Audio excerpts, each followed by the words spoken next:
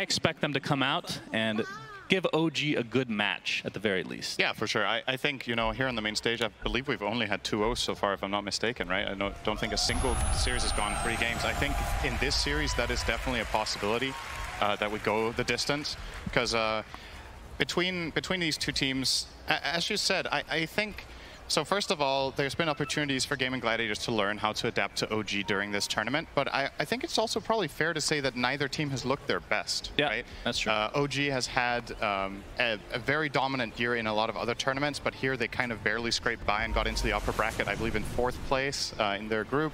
Uh, and Gaimin Gladiators obviously starting in lowers and getting that win against Fnatic yesterday. Um, I mean, that kind of that's what happens when you win every tournament. They nerf your, your heroes. yeah.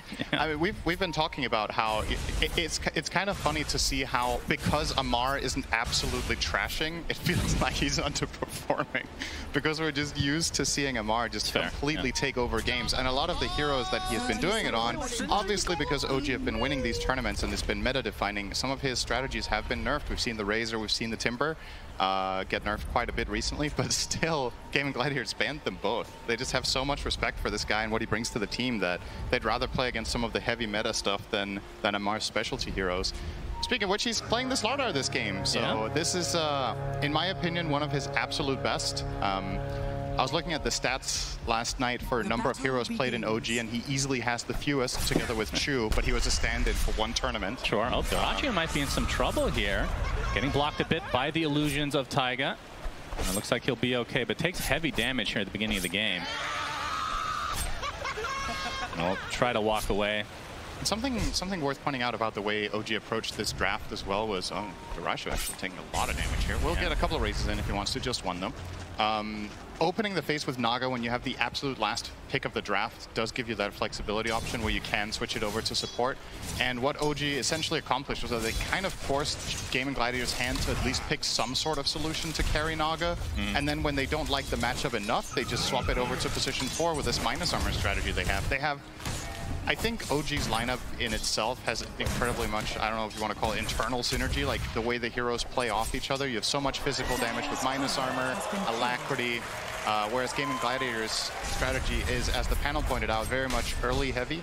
Um, I think it's super important for them that the lanes go well, but they are on a lot of comfort, and to me, maybe the unsung hero. Everybody's talking about Marci, right? You know, it's like Marci, Enigma. I think Tiny is still undervalued in this tournament. I think this hero is incredible right now, uh, and they will grab that for Boom in this game, and he's one of the very best. Yep, Dyrachyo still sitting on a relatively low HP, but no way to really catch up to him right now. Uh, the Raze way off here uh, from Dyrachyo. Maybe a little nerves here on the stage.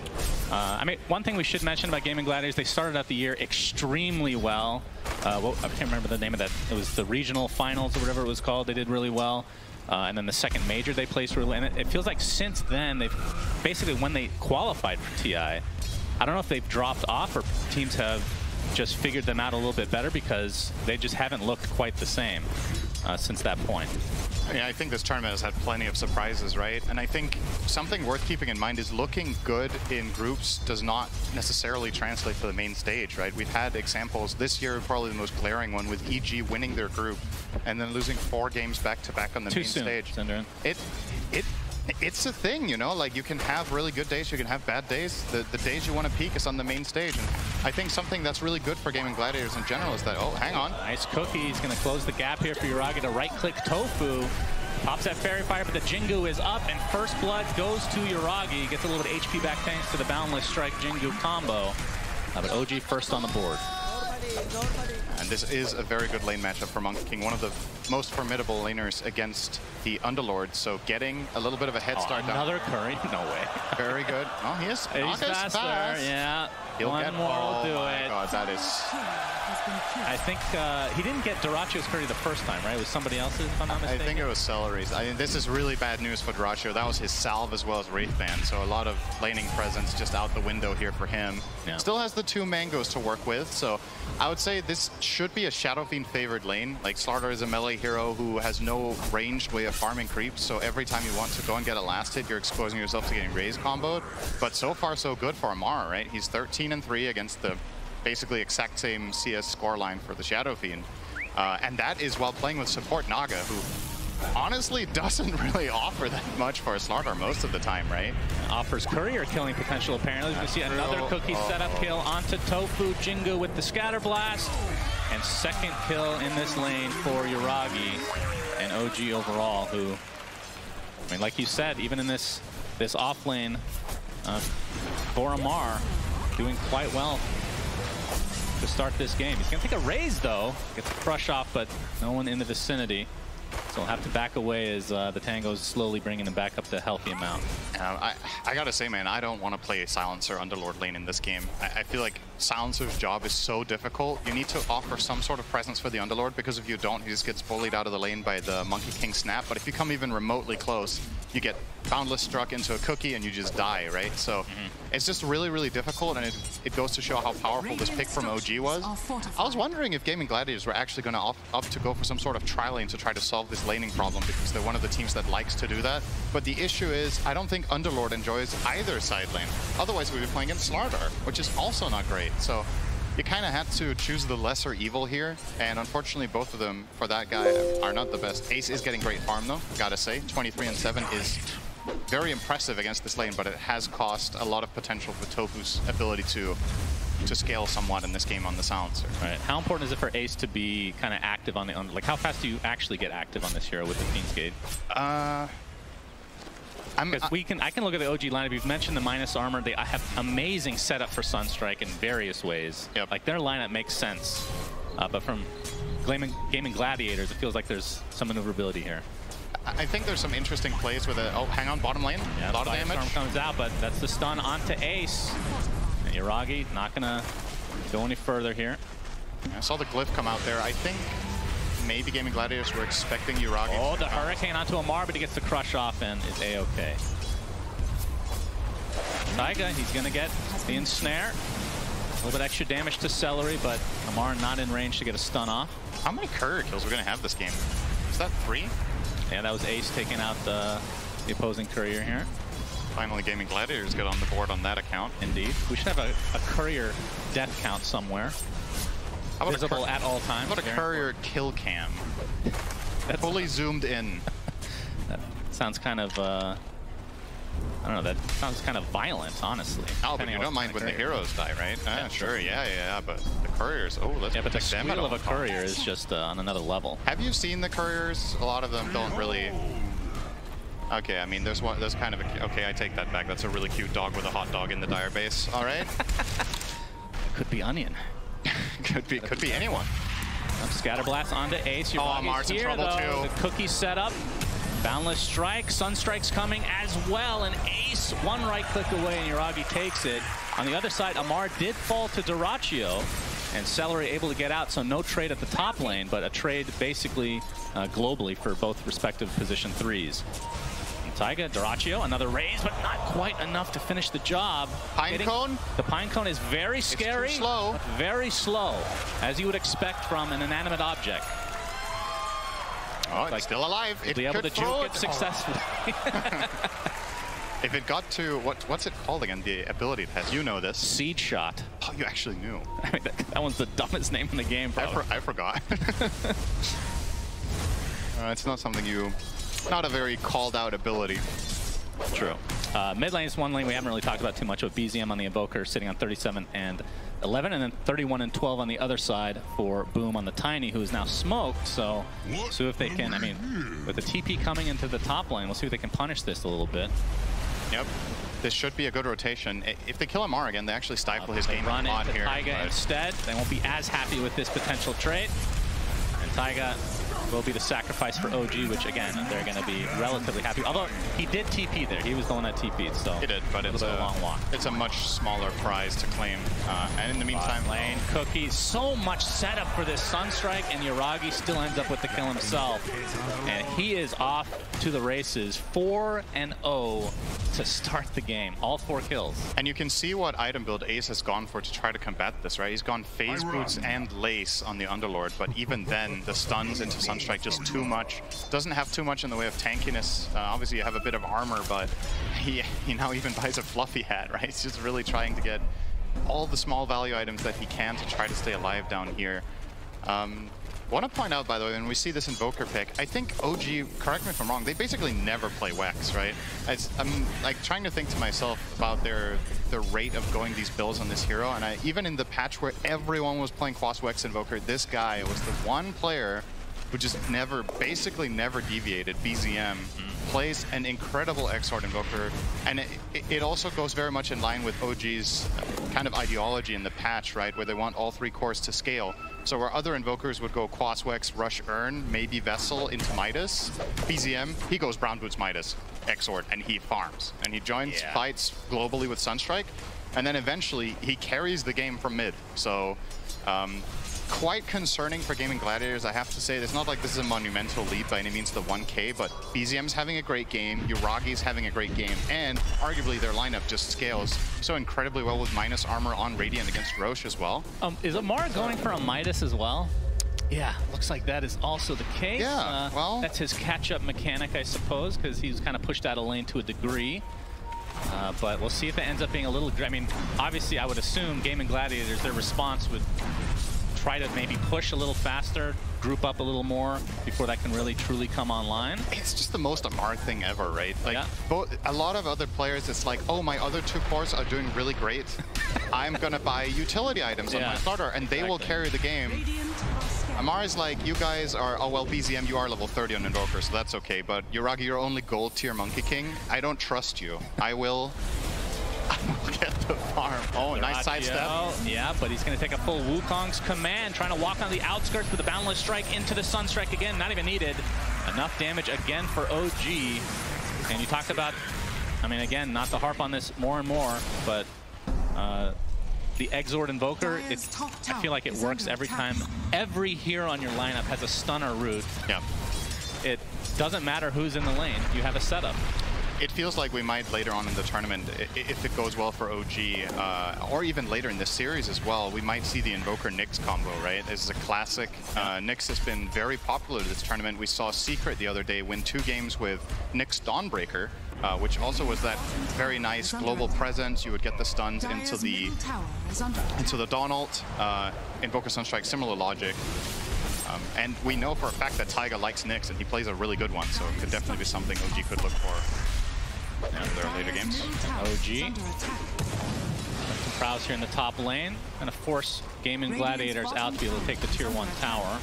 BZM is getting so much done mid. I mean, Dyrachyo finally now will take out this siege creep, but mid tower down to 200 health, OG taking top tower, so effectively more or less grabbing two tier ones at the 11 minute mark at the same time against an Ench lineup. That feels so good, as a wise man once said.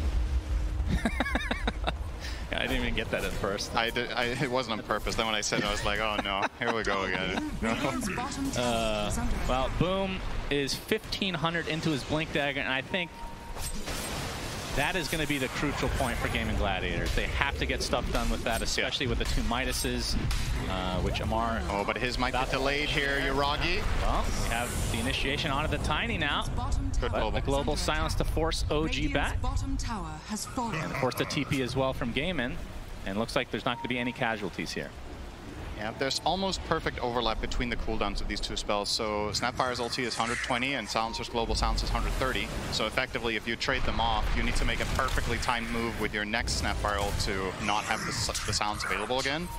Um, seems like it was a big part of why Gaimin did pick this hero in this game. Dire's middle tower. Dyrachyo, Requiem, there it is. Do they have the Raze? Yep, and Ace is here as well. Huge Big kill. kill for Gaimin Gladiators off of the Invis rune from Dyrachyo. But it's going to get punished to a degree. Ace will fall. Nothing comes for free. But for the first time in the game now a minor gold lead for Gaimin Gladiators, which you know uh, usually you would look at this with the perspective of all right, that's good, let's keep it up. But we know this team, we know how they play. A lot of the games that they win, or at least this year that they've won with a lineup like this right now, the gold lead would be 2K, 3K. Um, and you are playing against a lineup that's running multiple Midases, so you do need to keep that pressure going so that they don't just naturally find more gold on the map that you can't because it doesn't exist. Right. So, Well, Boom. up the pressure. Boom has his Blink Dagger. Yep. See how fast they want to expose it, if you will. I'd love to see, if possible, for Gaimin Gladiators to, once they have Global Silence, of try to make a smoke rotation with this Tiny Dagger, kill the Invoker mid, and look to pressure that tower with any strong Enchantress creep. It's a lot of things to have happen at once when you've already lost your top and mid tower, but I think you kind of need to get creative and start making invasive moves uh, around the mid area, because otherwise OG are controlling what we used to call the triangle area. I don't know if we really should anymore because there's no third camp, but everybody knows it as that. Um, but OG really want that area all the time because they are playing this greedy style with their Midas and just Amaris also going and farming Ancients a lot of the time. So opening up the mid tower would give them more avenues to... If you want to extend it a bit, and just the secret shop icon is the triangle. That's the true. point.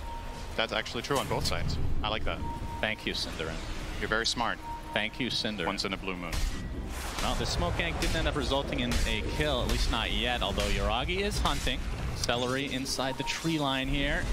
There's the vision. Seleri is mega dead. But again, just the support for Gaimin. Uh, don't know if the Blink Dagger... Uh, what Are they waiting for something specific? Are they waiting for the Global Silence to come back uh, for Boom to reveal this Blink Dagger officially? Not sure. Uh, it's possible that they were looking for a move. They didn't find the angle, and then OG were first to pounce, and they were like, all right, you know, the heroes that we were trying to gank, we didn't time to catch. We're just back to farming. Like, you got to be efficient about it, right? If your move fails, make sure you get something done. Um, but yeah, that was that was very unsuccessful here from Gaimin. Uh, fortunately for them, they only lost Seleri, of course. Rather unusual in a monkey diet, uh, Celery, but he was hungry enough that um, he opted for that. Probably not. I can tell you from experience that if you you have to be really hungry to eat celery. So he must have been starving after that death. Well said. Agreed. Vegetables. Nothing wrong with vegetables. It's Yep, just, vegetables. just celery. Uh, Dyrachyo, what is he working on right now? He has the Mask of Madness and the Dragon Lance. Yep. See him my farming the Ancients and is an Ogre Club into the BKB, so things have kind of slowed down, which we talked about against the Midas is maybe not uh, the best of move, but we'll see how it works out for Gaimin. Uh, Echo Saber there for Yuragi as he's working towards his BKB as well. And obviously, from a Mars perspective, the Midas has been online for a decent amount of time, which I now he finishes treads. We will ensnare into Sunstrike into all my spells into Artyom coming, or Invoker. I have wards.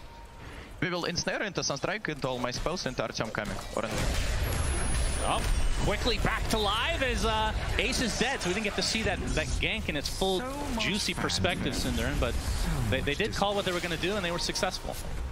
Yeah. Spoiler, it was a Sunstrike kill. Well, Invoker didn't get the last hit, but he was True. as usual. Uh, I was about to say before we saw this, I mean, it still rings true, right? I think the most impressive thing about Gaimin Gliders this game is how much farm Ace has. He has 141 CS, he's topping the charts, and that was after laning against Monkey King Snapfire. Uh, Ace does a really good job in general for this team at finding a lot of farm. I think, you know, when I think that was part of the reason that Gaimin Gliders were doing so well earlier in the year was when they were running these tri lanes with Dyrachyo, they still, when they put Ace in the safe lane, he managed to just find a lot of last hits on, on the map in the jungle, just be very effective even with a bad start. And that's exactly the case here as well. He's one and four, but his CS is very impressive. Boom. Oh, boom goes in, gets the Avatos, but it's on a support Naga. Gets Hurricane, but there's the song. Taking some damage from the Arcane Curse. He's just going to TP out in the midst of the song as a tier 1 tower will drop in favor of Gaimin. It's still, this is what Gaimin needed, right? They need to open that mid tower. So they do finally make this move and are successful with it. Uh, I like the I like the choice there of holding the global. They could have killed the Naga if they wanted to, but they think the global silence is too important Oh. in order for them to go for their next objective, which is right here. And this goes very, very fast, actually. OG. Yeah, they have to be careful. The Mortimer Kisses are online. If OG have an idea this is happening, the Sunstrike is going to reveal a little bit. But Avatos back into the pit. Ammar just dead. Just like that as the Mortimer's Kiss is coming out into Dyrachyo, but the global silence counter that the panel talked about. And this is looking like a potential free Rosh for Gaimin now.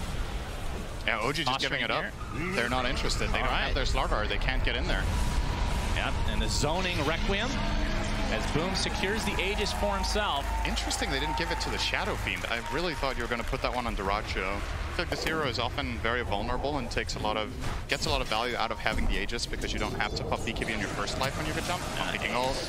Yeah, Boundless Strike into the Wukong. Oh, he's Sunstrike's fine. coming, but he is okay. Dire's bottom tower. He's trying to bait some TPs potentially, but nothing actually came. Does a 15 armor, so Wraith Pact wasn't cooldown. Oh, he's actually going for the wave. Are you Shiraki gonna try him again here? No, not quite. But yeah, I, I love that move from uh, from Gaimin Gladiators. Really good stuff. They not only do they get the Aegis, but keep in mind this Radiant lineup is incredibly good at killing Rosh. So the fact that you take it away from them is almost as valuable as getting it yourself.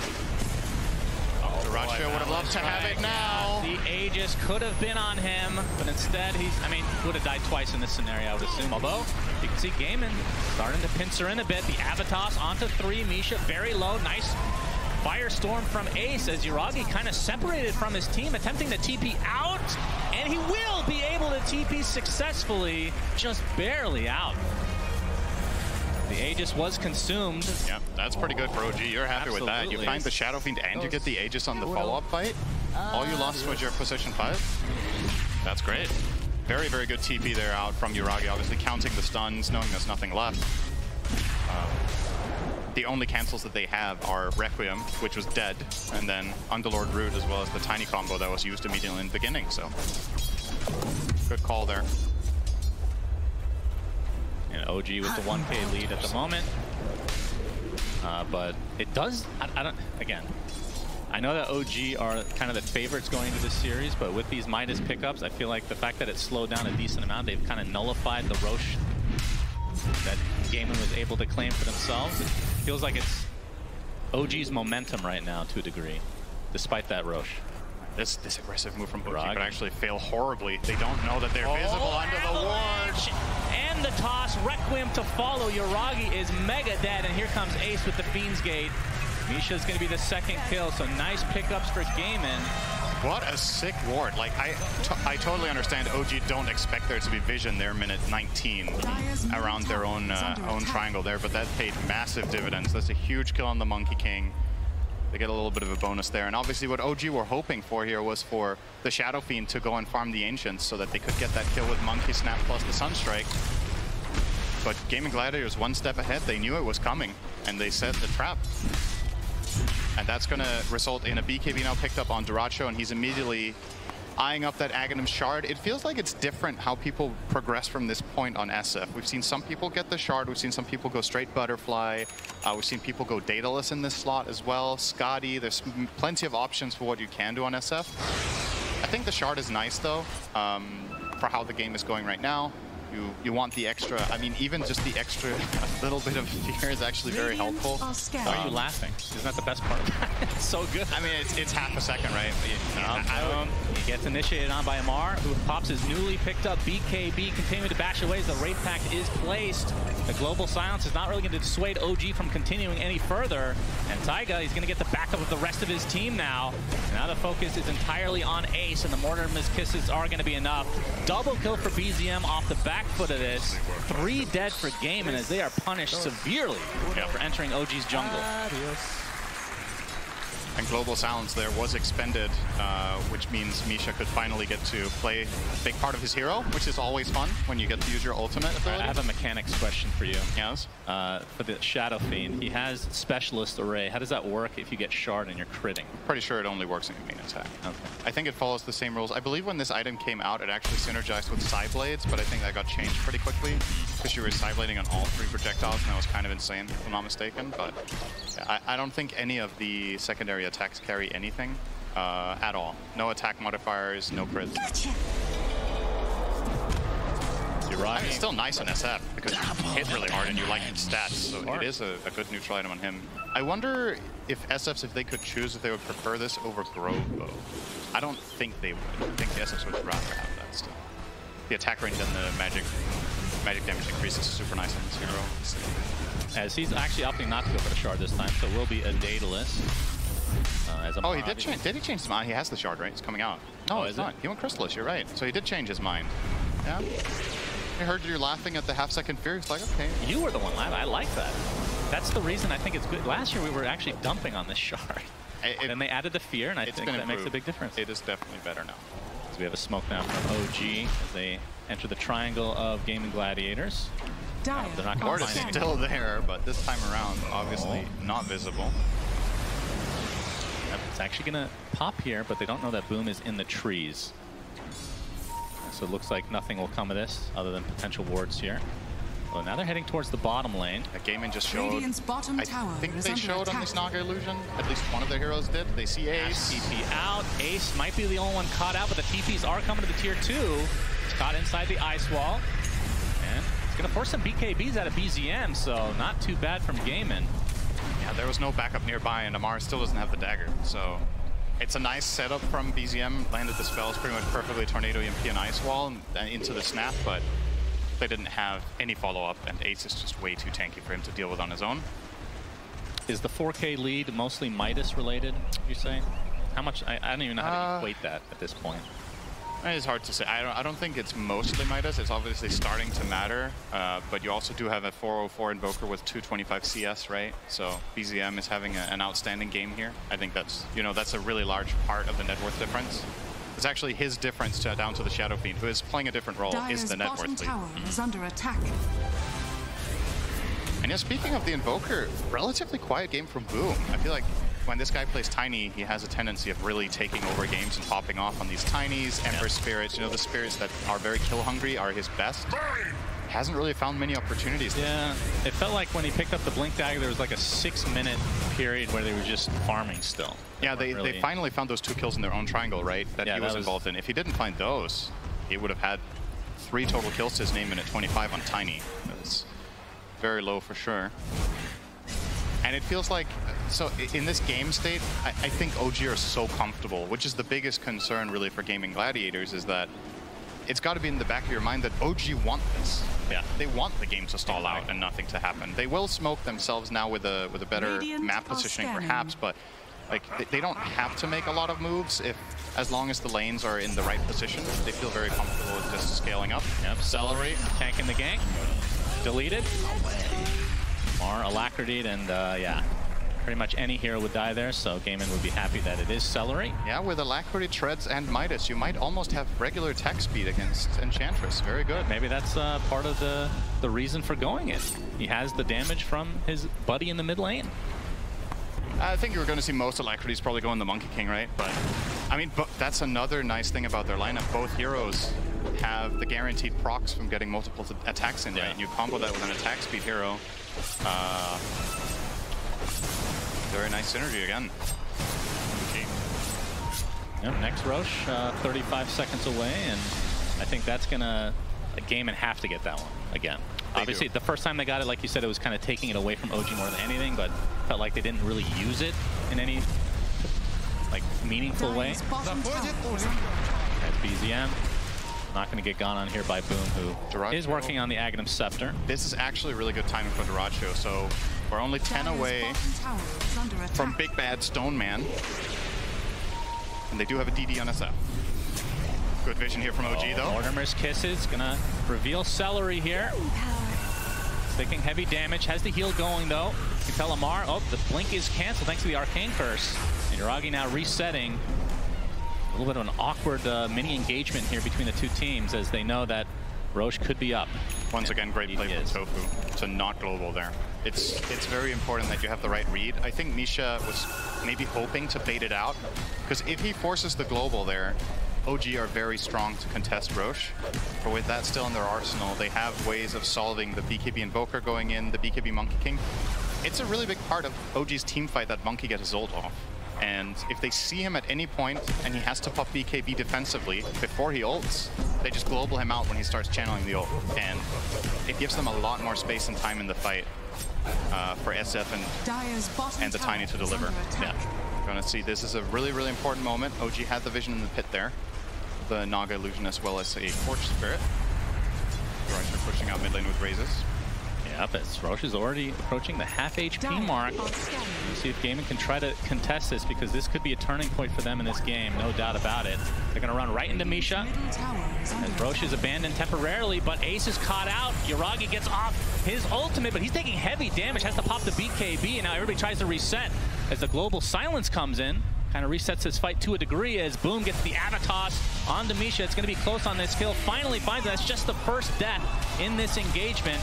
As you can see, Ammar going to town on the BKB SF through the song. And he's going to find that kill relatively easily, but he's going to be traded as a double kill for Seleri of all heroes. And it turns into a three for two. BZM has to ghost walk away. Yuragi's still fine and healthy. As the rest of Gaimin might have to reset a bit as two cores have died. And really the trade is for two oh, supports as BZM nets the double kill thanks to that Sunstrike. And with that, Gaimin have to abandon this for the time being. You can see that Rosh still pretty healthy, so it's not going to be an instant take for either team.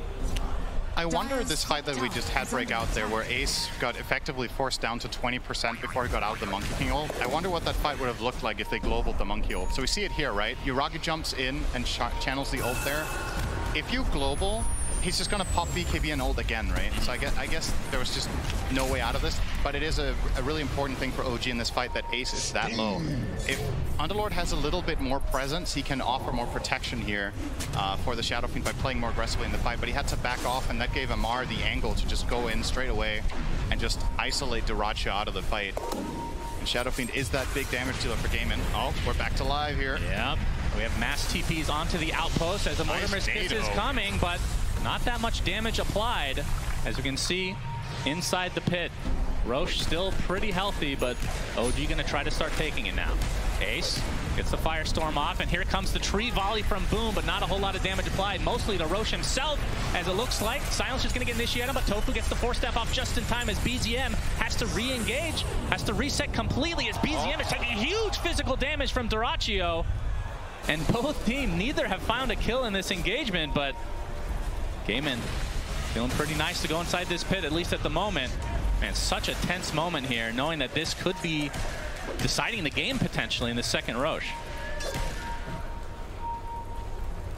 Yeah, Dyrachyo could get the shard Radiant's for free. bottom hmm. tower is under attack. Very important. Imagine that. Yeah, they're starting to poke Rosh a bit. There is Song of the Siren. This is not safe. Yeah. No Mortimer's Kisses at the moment, though. Here comes the Tornado. Going to clip Dyrachyo, and of course they have the spam of the illusions to give the vision here as Rosh just continually taking these tickles time and time again. Smoke out from OG. Requiem trying to buy some time to be able to take the second Rosh, and they get it. Dyrachyo with the Aegis and the Shard. Did he just last Sunstrike? Looks like they actually want to try to fight this. Is OG able to get the beautiful meteor onto several heroes, but Tofu and company able to maneuver onto the other side of the pit. They haven't lost anybody here. Who did they get the Rosh kill? No. Oh, you're right. Dyrachyo snatched the Aegis, so... I think BZM Sunstruck the Rosh. Either that or an illusion from Naga, potentially. I think it was Sunstrike. Wow. That's I mean, either way, the Aegis and Shard are far more important at this stage than Absolutely. the gold And get. they get the buyback on the snap, which is probably the least important out of all those all four right, things. Here. All right, Requiem, yeah, Sunstrike, you're right. oh my god, what are the chances? 50%. Well Okay, gotten well, thanks. gains. Quick robot math there. Yeah. 62.5% accuracy on the Sunstrikes. Not not too shabby. I mean, every hero has a stun, basically. It a little easier. Yeah, so depending on your perspective, maybe that's bad. Maybe that's horrible, yeah. Wow, you've missed six in this game? Uh, did Dyrachyo eat the shard himself? Yeah, I think so. So, Do you eat it? of course, consume. That's the same as eating in my book. Uh, yeah, okay. We'll, we'll take that. Okay. So Dyrachyo with the Aegis for another four minutes. This is actually a really strong time for Gaimin Gladiators in one minute. Uh, is going to pick up the Daedalus at that point with that fresh free shard and the Aegis. I think Gaimin Gladiators are finally going to start looking at some tier 2 towers and Yeah. taking more control of the map. Maybe they will even do it before the Daedalus, but it just feels awkward to do it right now. You're 300 gold away, but maybe OG aren't interested in defending bottom anyway, in which case, you know, power to you. You can, one of the luxuries of having this Underlord is that you can send him top lane and he can connect with your team bottom with Fiend's Gate, kind of Dawnbreaker-esque gameplay that this hero can pull off. Uh, so they're not even too worried about ending up trading towers, but they should be worried about Ace's life potentially, trying to fade out a BKB here. Now he doesn't have the mana for it. Yeah, It's just gonna TPs get are coming, kill. but he's done. Ammar. TPs matter not. Wukong's command use from Yuragi, I guess that's going to be used to ward off the rest of Gaimin that were potentially coming, and they'll take the tier two. It's a celebratory arena for the tower. Yeah, makes sense. Oh, that's not where he wanted to get forced by Seleri, I think, but it's okay. I mean, OG have done a pretty damn good job of. I mean, they've been giving up the, the Aegises, but it feels like they're the ones with the Aegises in a lot of ways. This game haven't really been able to capitalize They are. either time. They have two of them. Shut up. Okay. Oh, the Assault Cuirass now on Ammar. And the physical damage continues to be ridiculous from the side of OG. But it feels like both times that Gaimin have had the Aegis, they've the lead has grown a bit for OG in some Yeah. way. Well, now we can start talking Midas, because now it's been quite a while, right? Yeah. Both Invoker and Slardar, I would guess, have used it about 10 times each, perhaps. So that will obviously start really mattering and racking up. And Ammar, as a result, also with the extra experience, has now reached level 20. So that's the minus 4 Corrosive Haze armor talent. Now down to minus 24 total on that spell. Do you ever buy a shard on this hero at this point? Like, it feels like a pretty, Pretty good. valuable purchase, right? Yeah. Especially considering what heroes you're playing with. Ob- A lot of the time, Slardar wants to get it for free from the Rosh, but Ammar is prioritizing, for the time being at least, going for a Nullifier to prevent the Force Staffs, which is honestly the main thing keeping him from just flat out killing heroes on his own, right? Is that they, they're pushing them away with the Ench Force Staff, with the Shadowfiend Pike, once, and uh, a Force Staff and Silencer too, right? They have three of them. So that Nullifier will be very valuable. Well, Gaimin with the Aegis, grouping up top lane. They get the tier one, looking for the tier two next, but it's going to be a trade again as OG, Yep. Better not fall off. despite not having the Dire's bottom tower the Roche goodies, fallen. Are a okay Radiant's with this uh, this trade All right, overall. it's, for, it's forcing time. middle tower is under Indeed. Here we attack. go. less than a minute left on the Aegis, so see how OG want to try to approach this. Do they have any Rocky, offensive oh, Force we have the Staffs? Boundless Strike, and look at the damage! The Aegis is just gone like that. Now the Wukong's command into the Meteor, and Dyrachyo dies a second time in the blink of an eye. Ace has to BKB Fiend's Gate away, and the rest of Gaimin have to ditch. Seleri doesn't have that opportunity, and it looks like Tofu's TP gets canceled as well, so three dead as oh, OG just on another level here. Now with a 12k lead. Yeah, I, I was looking if there was a potential offensive staff play there onto the Shadow Fiend because he was just standing there hitting the tower. They don't have any Force Staffs. They don't need them. They literally just kill him instantly. Obviously, Gaimin Gladiator, Gladiator uh, they, have one, they have one save, which is Global Silence, but doesn't really work for situations like that. Like, you're going to jump the SF, they pop Global, I think he still dies. And on the second life, they have literally no chance of saving him. He's getting perma-bashed by the Slardar when he comes back up, so that kill was instant. You're going to see now they drop the Monkey King ult, and I think Ammar turns back on him as well. Like, instant the- bash again. He didn't play. The fact that he went, Literally had the, the the presence of mind to go outside the Wukongs to hit a couple random enemies to get the bashes up again, Yeah. to be able to get the literal perma bash is insane. Yep. Man, Clean. so hard to play against that. As tree Very. volley coming in, uh, boom. Oh, he's Okay. taking some damage gets the Avatos back into the pit, and they're gonna get some form of revenge onto Ammar, Tower is under attack. but they're gonna need a lot more of that to get back in this game. Ay, ay, ay, ay, ay. Well, they could at least claim a mid-tier two. I don't think Ammar is interested in going back for that unless OG do get a very clean setup once again. But maybe they're going to just try to defend it the aggressive way. They're pushing Tofu, top oh, and he's they initiated on, the sheep stick is there, and he is deleted. is under they can actually force them back here. They can defend their tier two tower mid by pushing top. The OG have, or Gaimin Gladiators have to come back here. They're sending back the Underlord Three for now. power. Forge Spirits won't be able to finish it off, although boom, he's going to get ensnared, and you can see Gaimin have already TP'd a couple heroes, so they don't have that many in numbers. Boundless Strike connects as well. Dyrachyo has to Requiem to try to zone away the rest of OG, but there's the Sheep Stick and the Meteor with the Mortimer's Kiss. There's so much fire destroying the Stone Man as BZM able to get his BKB off, but you can see the song being used, and now they're just going to focus down the BKB targets for the time being. So two dead in favor of OG. With the Wukong's command, Boundless Strike onto two, and Gaimin are getting destroyed. Oh, so clean. What an insane fight from OG. Everything landing perfectly. Man, Great spellcasting synergy. The way they set up that kill on Tiny and take advantage of him not having BKB is just so clean, right? And snare into the scatter blast damage so he can blink into the follow-up from the Monkey King. Just so, so clean. What, what's the worst that could happen? And everything, everything from Invoker. That's a good line for that moment. Dire's some positivity here is uh, you know, OG now going to the high ground. And obviously, we can see there are a couple buybacks, but they're not going to be that impactful right now. As the fortification is popped, and this is looking like minimum two lanes, if not more. And again, when Shadowfiend's back, he's going to have half the souls, so Won't be as powerful as he could be. Skadi now picked up by Yuragi. That's two lanes. Now trying to go for the megas. Boom. He's going to get initiated on mid-tree volley, and look how fast he dies again. Scatterblast finishes him off. He does have buyback this time, though. But at this point, it's going to be mega creeps. As Gaimin, they're just getting zoned out by BZM, who has a delicious meatball surprise with that refresher. And the global silence is there. can't play. Like he's literally just He just dies on the outskirts as the rest of Gaimin are stuck in their freaking fountain right now. Good lord. OG, I think it's just a range racks on the top to be able to get those mega creeps as Yuragi pops the BKB. Boom, with a pretty good tree volley, but it's not enough damage at this stage of the game. As they're going to be able to finish off, and that's a dieback for Mr. Boom himself. And it looks like game one as GG's come out, go to OG in extremely convincing fashion. And I know we came in thinking OG would be the favorites coming in, and they're showing why here. They're able to play greedy with double Midas, and it worked out.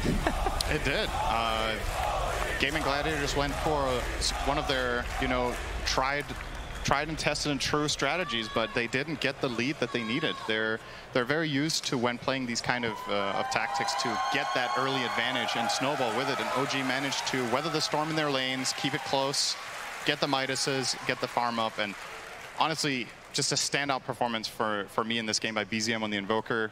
Not really too surprising, I guess you could say, from an Exort Invoker with a good laning stage, but Thank you very much, Sir Action Slacks. Another very, very good interview. Hopefully, an Emmy Award-winning interview. Just that specific one. Will I, I love I love the confidence when you can just tell the coach like I guess you just know it's in the bag, you know. Yeah, I, that's true. I'm so inspired. You know, I think coaches saying I guess have a higher win rate than coaches saying we are definitely winning this game. At least at this event so far. And they're I would very love to see the statistics on that. Yeah. Uh, one word answers, if that equates to more wins, or if they're eloquent, perhaps they lose more. Yeah. Doesn't make any sense, but kind of like feel me. I talk a lot, but not so much play. You know. So uh, Yeah. Uh, it, it, it makes sense. It really does make sense. you know what else makes sense? That this is game two because game one is over. Not sure if you're aware of that, SyndereN, but That's true. Game two of this lower bracket matchup between Gaimin Gladiators and OG. OG with a 1-0 advantage so far, and they're looking to close this series out while Gaimin trying to hold on to their TI hopes uh, and try and force a game number three. We're finally going to see some primal beast action, but the panel kind of talked about a lot of bad matchups from Yeah. my boy. Talk to me about it. Yeah, so Clockwork is already a little bit of a, a tricky one to deal with because you, you're a mobility-based hero, right? As Primal Beast, you really need to move around and navigate the fight, and you have an ability that gives you a lot of armor, but in the way, like Clockwork is 90% magic damage, he has a lot of ways of interrupting your movement with cogs, with hookshot, battery assault is annoying, and you have Pango that's going to be annoying for you. Um, you have Ice Path that you need to navigate around, Viper Strike, and then the final last pick that OG get, which kind of reminds me a little bit of what they did in game number one. They picked this Faceless Void, so if the Primal is going off lane, he's going to be playing against Void, which is one of Primal's worst lane matchups. You can just time walk away from the trample. And if he's going mid, he's going against Pango, who can just battle swashbuckle away from the trample. So Yeah. they, they kind of cover their bases here where they see Game Gaimin Gladiators going for a top tier pick and they just make sure there's nowhere he's going to be truly happy to play. Uh, so it's very it's a very disruptive way of thinking about drafting that not only do their heroes make a lot of sense together, but there's one singular hero in the enemy team that you're really just trying to make miserable, and that's going to be Ace. So curious to see how he performs in this game. I think it's a very, very difficult primal game. Yeah. Uh, what about the other heroes, though? We have Life Stealer with the Infest Bomb potential into the Storm Spirit, which Yep. was the last pick from Gaimin. The Storm pick was very good, for sure. So see if they can execute properly in the mid game. Try to get some pickoffs here onto OG. Uh, how many uh, how many Midases can we see in this game from OG? Uh, I don't think BZM usually buys Midas on Pango, so Yeah, I'm gonna go out on a limb here and say zero. zero. It, uh, is the Void? Viper Midas. Ah, maybe Yuragi will buy one, wouldn't he? Yeah, does I mean, Faceless Jen? Void buys it from time to time, right? So, and Ammar buys one every game, so I think it could be two still. Yeah, I mean it's possible. It definitely could be. And on the side of Gaming Gliders, yeah, Lifestealer probably the only one who would ever buy it. Really, if you buy Primal Beast Midas, you're playing the hero wrong. I'll go out and say that right Maybe now. he That, needs it real bad this game because of the bad matchups. I think that's uh, that's not a that's not a good look. I mean, what what kind of itemization can you go for for Primal Beast to try to mitigate the counters that you're going up against. I mean, you obviously have to get BKB, right? that's ev- a- that's every game. yeah, No, but you have to get it even more this game. You have to get two BKBs this game. oh, so a refresher. Refresher. okay. But you don't have mana for that, so you need some sort of item to give you mana. So you're gonna hope that you find. All right, give me the full list of items that will allow him to have double BKB. Uh, is he getting the robe or not? Let's just say everything goes his way. Okay, uh, BKB phase boots robe refresher, and then is wand enough? I don't actually know. It's probably close. I don't know. His mana pool is atrocious. That's Taiga taking pretty heavy damage in the bot lane here. Dyrachyo pops the rage, take off those poison attacks. I mean, how could also go BKB refresher and six mangoes. Okay, sure, that sounds a little uh, less than ideal. He has three of them already. He's halfway there. So he just needs to not use them. He almost has his first major item, six mangoes. Maybe if you could get the mango tree, then it would be possible. Oh. Right, then you have to buy it. Missed that so much, Misha. Onslaught with the trample, lots of damage. I mean, you talked about how Yuragi can deal with this, but what about Jakiro? Yeah, Jakiro is not particularly good against Primal in lane, uh, so Misha definitely has to be careful about positioning. One of the upsides to Jakiro over certain other supports is it has pretty high base HP, so getting the full kill is difficult, but you put a lot of pressure and you do economic damage. Uh, Jakiro's probably going to have to buy salves here if, uh, if he keeps getting pressured. Um, but yeah, it, it could be better, it could be worse. There are certain other supports that absolutely get bodied by Primal, and Jakiro is not really in that category, but it's also not the greatest. Uh, I'm not. We are many minutes away from this happening, so I don't know why I'm bringing it up now. Tier but- 5 neutral items? No, actually, for Oh, once you're incorrect. I Uh, can't believe it. Well, I, I'm bringing this up because I know you're such a big fan of Clockwork, but I am. seeing the Aghanim Scepter at this tournament, it hasn't been picked up as much because it's a lot of it's support and you have to get the gold, but when it's picked up, it feels impossible to play against a lot of the time. Yeah, I think the biggest upside to it is just the vision, right? If you're playing support clock and you just spam out the rockets Yeah. uh, in key moments, you get a lot of information, which is very powerful. Um, I do think in this game, Taiga is more likely to go Force Staff though. I just think it's too good to not buy. You're playing against Lifestealer, you're playing against Primal Beast. Oh, Taiga, by the way, taking some hefty damage down here. We'll be fine though. Yeah, has to be careful with that Ghoul Frenzy, of course, level one. Very important spell for Lifestealer. I mean, unless they see incredible value in getting the multiple rockets, I think the best clockwork build in this game is probably Force Staff Lotus. Get the Lotus against the Global Silence for any teammate of your choosing so you can save them. Uh, it's a great way of countering Storm Spirit because he can't really Vortex unless he BKBs. Um, and the Force Staff just amazing, right? Primal, Lifestealer, even Storm. If the hero at least turns around before they get pulled by Vortex, you can reset their position pr- pretty well.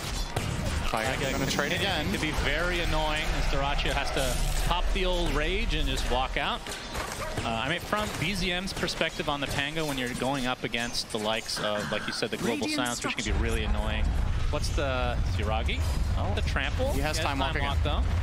Uh, but what, what kind of itemization for BZM? Are you are you having to go BKB at some point? We used to see Lotus Orbs back in the day, but that hasn't really been as much of a thing for the mid Pango. Or you're relying on your team to get the I kind of like Diffusal here still, right? It- Well, you're gonna go for that Nice. regardless, right? But like, Yeah, after after Diffusal, um, I don't know, is BKB enough? Seleri. Yep. That's gonna be first blood for Ammar. And Dyrachyo has to be careful. He's gonna pop the rage though. This this lane, this bottom lane got basically twice as strong when Taiga hit level 3. It is such a huge turning point for Clockwork's ability to play offensively. Like heroes that can usually somewhat trade with you just get absolutely destroyed all of a sudden because you more than double the damage of Battery Assault. goes from 20 to 45 hmm. from that level 1 to 2. One of the biggest spell upgrades in the entire game in my opinion. All right, good setup. Mid with the frostbite, a lot of damage to BZM, but he gets off the swatch. Oh, the miss! miss from Boom. I still on the got low it. ground, but he still finds the kill in the end. Very close. That was very close to being extremely unfortunate for Boom. If if Taiga had enough mana for Cogs, he might have actually survived there. They find the They get trampled down, and Yuragi gets off the time dilation. Uh, he's not going to be able to likely find a kill unless he gets a timely bash here on Any bash? Any bash? No. Nope. No bash. This reminds me of when I play Faceless Void. Um, Okay. I Give me think the so. give me the deets. I think sometimes it's tempting to not skill time lock because it just doesn't work when you're playing the hero. I understand why other players skill it though, because it's really good on them. So, yeah, so it seems. yeah. Uh, but BZM in the mid lane, 36 and 5 versus the 28 and 6. Despite that death, was ahead of the CS. Uh, but we can see on the net worth, essentially even, all things considered, as he is now level 6, so the Rolling Thunder available. Uh, I mean, from the Storm Spirit's perspective, uh, Hearing an onslaught. Uh, Yeah. Total miss there. yeah, he does take down a lot of trees, though. That's true. Or- Is that one of the predictions for this game? No, it is not. So Those are my favorite, yeah. I missed the, the community challenge to kill trees. Dyrachyo needs to be careful here. Has the phase boots, which is very, very useful against the clockwork. Yep, Tofu gets up the last ward, but BZM with the Rolling Thunder. Oh, nice. nice. juking from Tofu. Fancy footwork. on though. I don't know if he's gonna hit him a second time. No. Tofu definitely has his dancing shoes on as he's able to only get hit once. I believe Seleri. this is what some people refer to as NA driver. That's Okay, what that means. sure. Seleri, he's gonna get soloed down. Ammar actually gets credit for that kill. Now the Viper strike onto Dyrachyo, attempting the TP out. Oh, he dies in the fountain. Oh dear. Very unfortunate sequence of events for Gaimin Gladiators in this bot lane. That feels awful, so he's gonna have to make the walk of shame.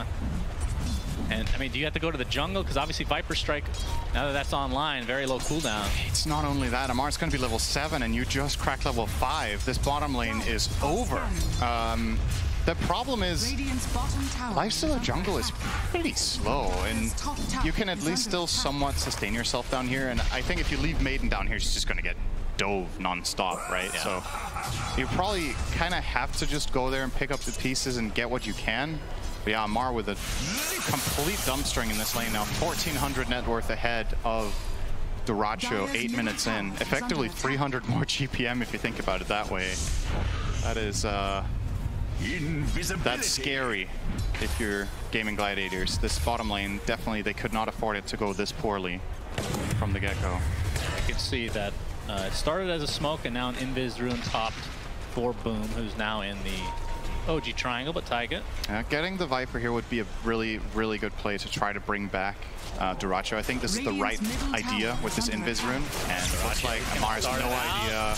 There's the initiation. He has to stand his ground with the, the Nether Toxin and the right clicks. It's gonna actually trade him he's away, just gonna though. rot away inside. So it's a one for one, and now Seleri with the rotation of BZM will be Oh, taken dear. out. So it looked like it was going to be a clean pickoff for Gaimin Gladiators, not to be, and it might be even more as Boom has to expend a lot of mana, but Taiga, not Jeez, quite okay. level six Uh, yet. Maybe not, actually. He's, Yeah, but he's catching up. Shield crash. And he's going to get locked down into Oblivion. So another kill for OG. And that that is another big part of why Ammar is so strong on this hero is that even when the enemy team is going for his Viper to try to solve the lane after it's been lost, if his teammates are fast at rotating, Viper is a pretty hard kill. You can Yeah. see Ammar going for the traditional item build of Oh, Chronosphere and Ammar is on the other side as well. That's a goner. And uses the Viper Strike just to ensure another kill on a core hero for Gaimin. What do you think about Ammar's item build? I don't think I've ever seen this. What do we got here today? Dragon Lance? Wraithband Null Talisman. Oh, I didn't. And two notice branches, that. no stick. Okay. He's getting the mana region from the null, and then he's not buying stick. Uh, this is one of those do not try it at home moments. Uh, don't don't do this at home. I'm sure people will. You um, or or do it at home. Yeah, Maybe it's uh, maybe it's easy to pull off and, and look good on. Yeah, that is odd, but uh, Ammar always has his reasons for I mean, maybe I'm wrong. Maybe he has bought this multiple times before, and I just haven't noticed. But it just stood out to me. This is an item combination you very rarely see. Wraith plus null. Uh-oh. Good steal there from Boom, though. He Yeah. got some of it. Indeed. He's gonna take an Ice ice pack. pack. Oh no! Oh no! No! No! No! No! No! No! No! No! No! No! No! No! No! Will take down eventually, though, to Misha. And now Seleri looks to be next, potentially. Oh, Not even needing the rolling My thunder. God. Man, and just, they're getting punished every single angle of the map right now. That is a kill I would have never expected there. The fact that OG finds that with that combination of Jakiro and Pango was Yeah. really, really good. And it was on the edge too. I think he died from the last tick of dual breath. It was the very last second, so also We have close call. Yuragi, the Global. global silence, the infest out, and they do claim themselves the Faceless Void. And it's hard not to look at the scoreline because it's a 3k lead for OG, but Taiga, he's going to be the next to fall, it looks like. Okay. So Gaimin able to get some important kills here to try to get back in this this game. Well, they've also taken half the mid tower, so not too bad. Great rotation there. Good first global.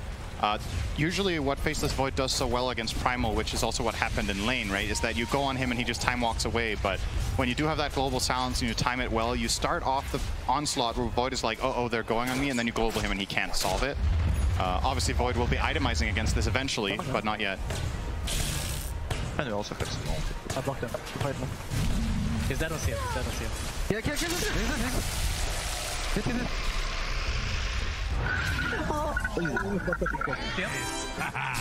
All right, some some laughing, some gibberish a little bit here and there, but uh, worked out. I like Ammar's advanced call of kill, kill, kill. Kill, kill, kill. Kill, kill, Good kill. strategy there. I, I do believe that is a winning strategy most of the time. Yeah, Tofu, he's dead. Um, kill, kill, kill. Uh, that's definitely a throwback to Eternal Envy days, right? Just repeat the same word. He would still be saying kill now. It's just like an endless loop. Recursive loop if you're a programmer. Why So- has no one ev- has anyone ever made an Eternal Envy remix? It's like I'm sure it have that as like a the it'd be a pretty I was gonna say a pretty good beat, but maybe not. But it would be a beat. Under. I, I've actually seen one for sure. You have? Yeah, you can just Google it later. Yeah. Uh, but OG with I will definitely do now. that. Uh, Ace Radiant's bottom and company in the driver's seat right now. Uh, I mean, what does Gaimin need to do? The, the Infest Bomb was great, but obviously the Global Silence was needed for that kill. Yeah. Very long cooldown. They have global again in 10. I think you make another move like that. Um, so just do everything off the global cooldown. not everything, but you need to use global. So whenever you have it, you should make a move, and when you don't have it, you maybe need to be a little bit more creative with the plays that you make. But when global is up, there's just no excuse for not finding a big pick, and it's going to happen right now. They're gonna It- spawn him. He swashbuckles to the creeps, which actually gives him a little bit of extra space. But there, he's gonna get silenced and eventually brought down. cost boom Yes, every it did, but ounce he of mana dodges the had. hook shot. Oh. He's gonna be spotted, but I don't think they can close the gap in time. The ice path just uh, barely not in time. And that is why Taiga's nickname is What Can You Do? Sometimes you just miss. And Dyrachyo focusing on the tier one tower will have to rage away as the rest of OGF come in. They've brought this back for sure. That I mean, That was a very couple fortunate minutes. swash, to be honest. Like Yes. that play got so much harder than it had any business doing because the perfect timing of the swashbuckle as Storm was jumping, and he had no way of knowing that. So, just pretty fortunate there. But also, again, Boom at least getting away from that is really great news for him. He's closing in on the Witchblade. Is. Um, maybe he can solo Void with that plus global. I think because Void has treads Midas, right? Like Yuragi is very far away from any defensive item that's going to solve the global. He's probably going to go Manta after the Maelstrom, I would imagine, or BKB, one or the other. Uh, but until that point, I think Storm has his number. And they could even kill him with an Infest Bomb, I think, without Global. As long as they have that Witchblade. Should be enough. Taiga is going to find Seleri. Indeed, inside the cogs. Ace is here to watch for the time being, but Dyrachyo pops the rage, and now the focus is on Taiga. Gets off the hook shot. and Look at that range from Ammar. They end up getting the support kill in the end as BZM gets off. Oh, doesn't Give want to him go the for the Rolling infest. Thunder quite, but the Electric Vortex comes in. But you have to be careful with that Storm Spirit. The Infest into Ace with the trample. Not enough to finish off Taiga in the end as the Uproar procs. The cogs being used as a wall to be able to maneuver with this Rolling Thunder. That is going to be the death of Ace and not a Chronosphere on his teammates. But the more Four-man important is on the Life Stealer, and Dyrachyo will fall as a result. Not the prettiest of plays, but OG still get it done. I, mean, I, don't, really know if OG could have done much more there. What I'm wondering is if there was a way for Ace to set that up better on the Primal. If they could have been quicker about it and gone on top of the Pango and then get the uh, get the Pulverize off. But as we talked about pre-game, it is a hard Primal game. You really need to hedge your bets about how you go. We're going to see the replay here. So this is obviously one of the best matchups for Clockwork against a support. Crystal Maiden, super slow, can't really break your cogs very easily once she's in there. You kill her off. Now the the Viper Strike gonna go into Ratio, forcing the Infest here. And this is where, so when this Storm Jump comes in, if Ace uses his spell combo onto the Pango, I think they actually could potentially kill him there. I hear the Ice onslaught, Okay, and that that- is a lot of damage. Taiga is dead. That'll do. Closing in on BKB now, Ace. We'll give him some more freedom, but it's not a guaranteed connection. You still, when you're pulverizing, you get countered by the Chrono, and you can get countered by hook shot. So it's not it's not one of those primal games where it's just like, all right, BKB unlocked. I'm going to start crushing fools left and right. It's not Dire's middle that tower What is straightforward. that a voice line? I'm crushing fools. Is it? I don't think he speaks any actual words. Radiant's top just tower roars. is under attack. Yeah, maybe one of them means that though. Dire's middle That's true. We don't have under a attack. translator on hand quite yet. I do feel believe like he speaks Slacks the same language as be a good- Slacks. Man, we are on the same page. We are on the same page. We finish each other's. Horses. As uh, Yuragi. No, we don't. the That- yeah, just move on. That was a good joke, Ace. yeah. Inside the cogs, which gets broken right away by Taiga. He is dead again. Yep. So they're able to find him pretty consistently, which, like you said, is a pretty important hero to take out before any of these engagements because it does disrupt a lot of what Ace wants to do. Oh, that's a long Big jump. zip in BZM. It's going to be found, but the swashbuckle out. Ice Path does connect onto Boom, but I'm not sure who wants to fight here. Both sides kind of happy to walk away, it looks like. I think OG are a little bit timid. They don't have their clockwork and Global Silence is up, so that is a pretty difficult fight to take. And they also have the read that there's obviously Gaimin Gladiator's vision there because Pango got jumped in Fog. Um, so I, I really like the call to not force that as Dire. I think the risk was the risk reward was just not good enough for you. So they're gonna chill. Uh, wait for Chrono as well. Worth keeping in mind. They didn't have that for that either, so probably even less eager to get anything done. But now that it is online and he has Maelstrom, perhaps OG are considering a move. Radiant are scanning. Hearing that the Infest Bomb ready to come, but the action's going to start onto Seleri, who's just dead right off the bat. The Global Silence comes, though. Rolling Thunder already activated. As Dyrachyo able to claim himself the first kill. They're going to find another on top as Ammar falls. The buyback was used on the Seleri. As you can see, the BKB already activated from Ace. And Taiga at the root keeps him in place, and Seleri's buyback ends up being worth it. So double kill for Boom as Gaimin taking a big fight for themselves, although BZM able to claim Tofu.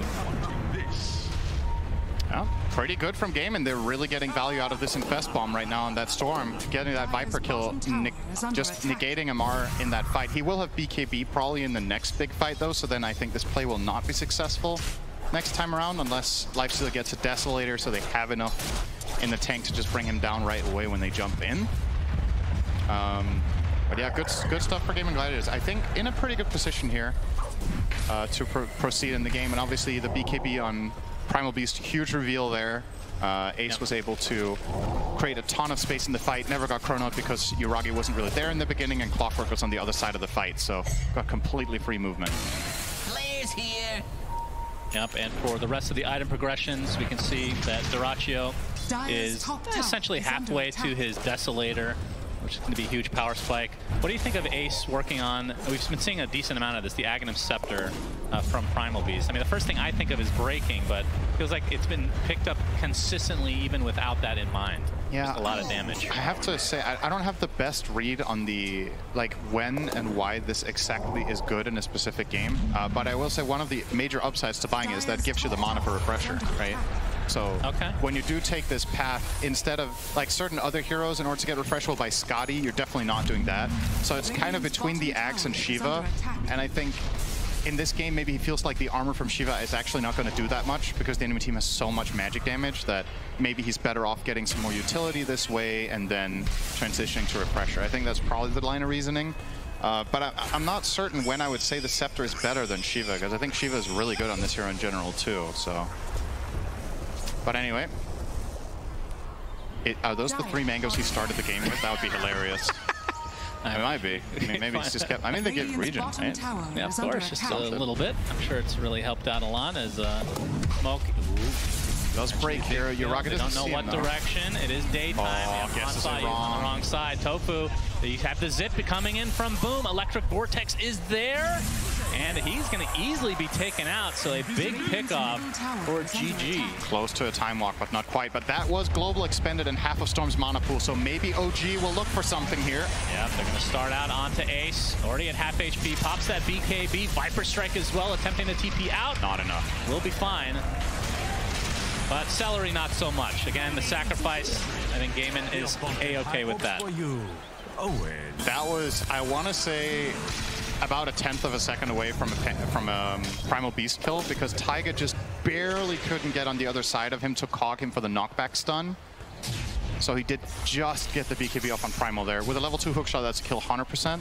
Um, maybe if Taiga hits the angle a little bit better, he kind of got blocked by the creep on the left, so he couldn't find the angle there.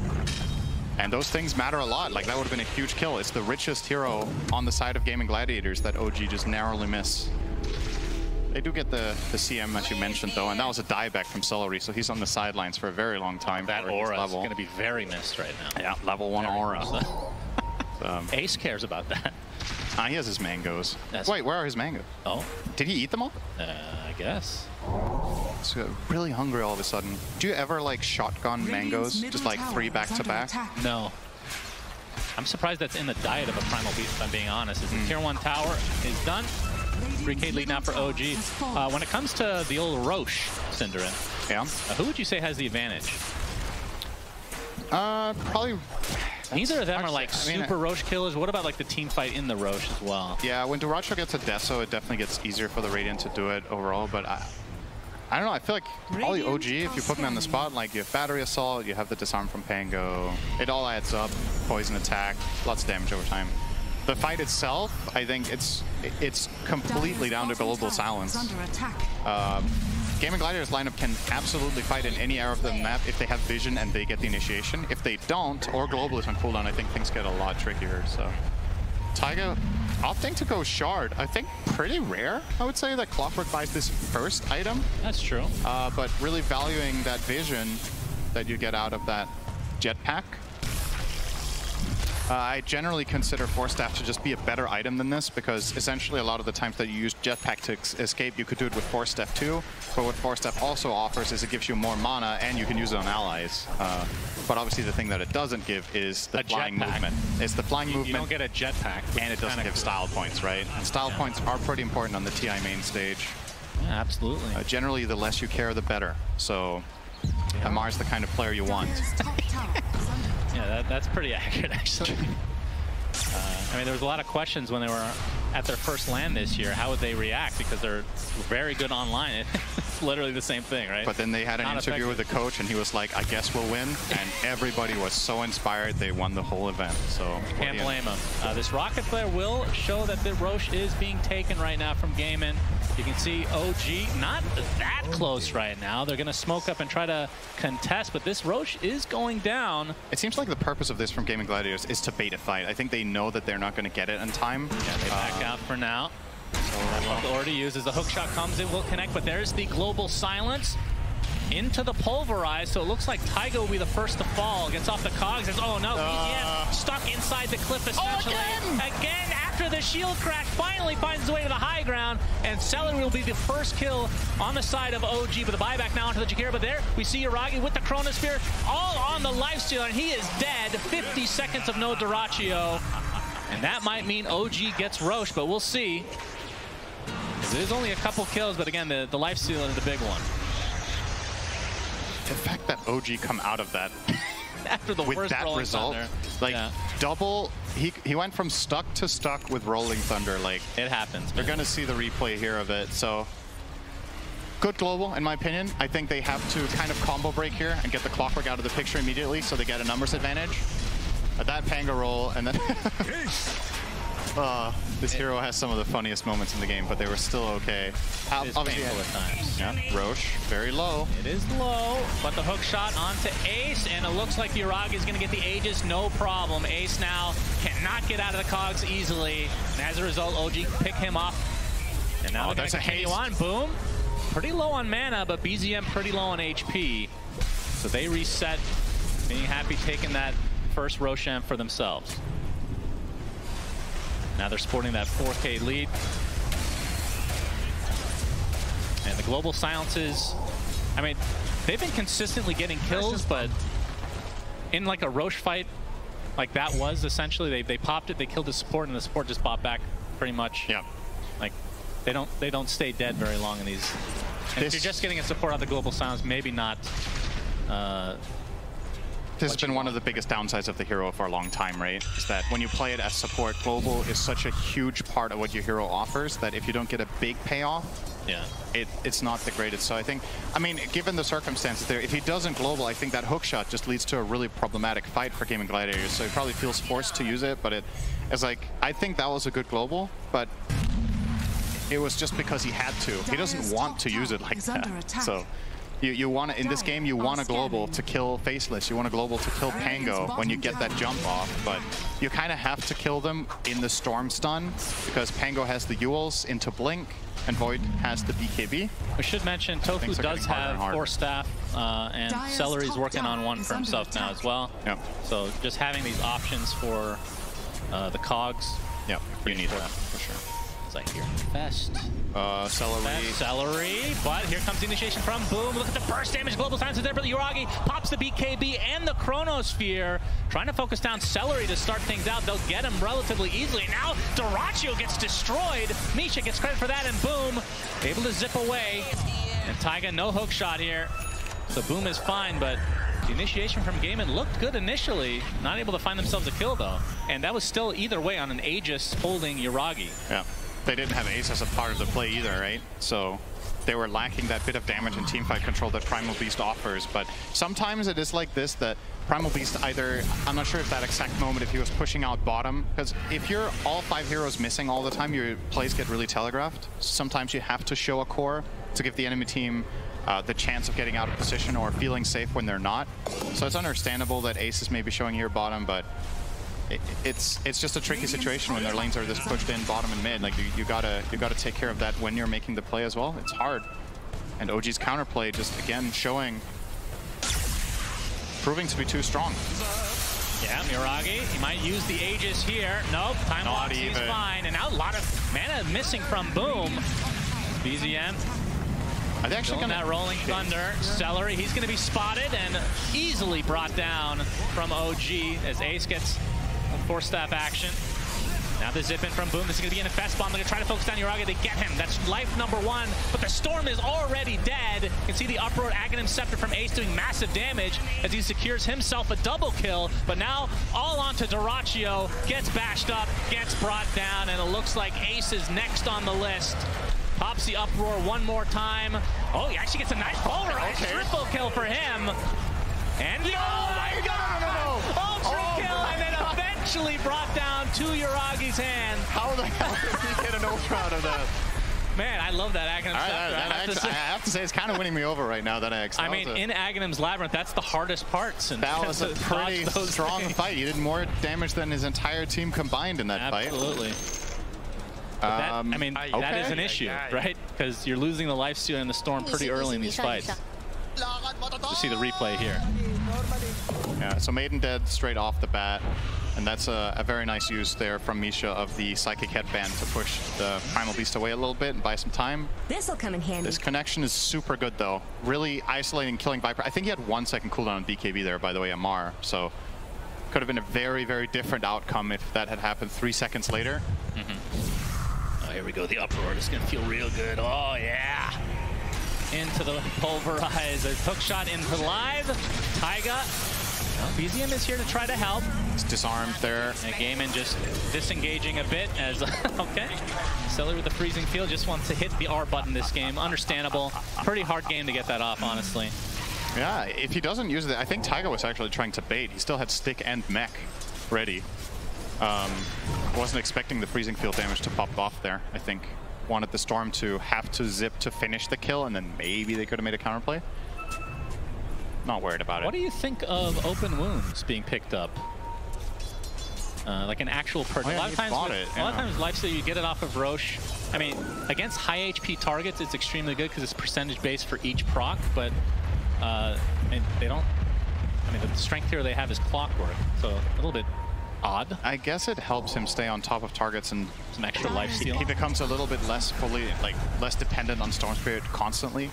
I, th I think, for the most part in these team fights, Dyrachyo has been kited really hard. Um, we've talked about all the counters to Primal Beast. They're counters to life Lifestealer for similar reason, right? Viper Strike, Cogs, is under Hook. Shot. If you have this shard, maybe you can stay on top of a target or at least reconnect on them later in the fight.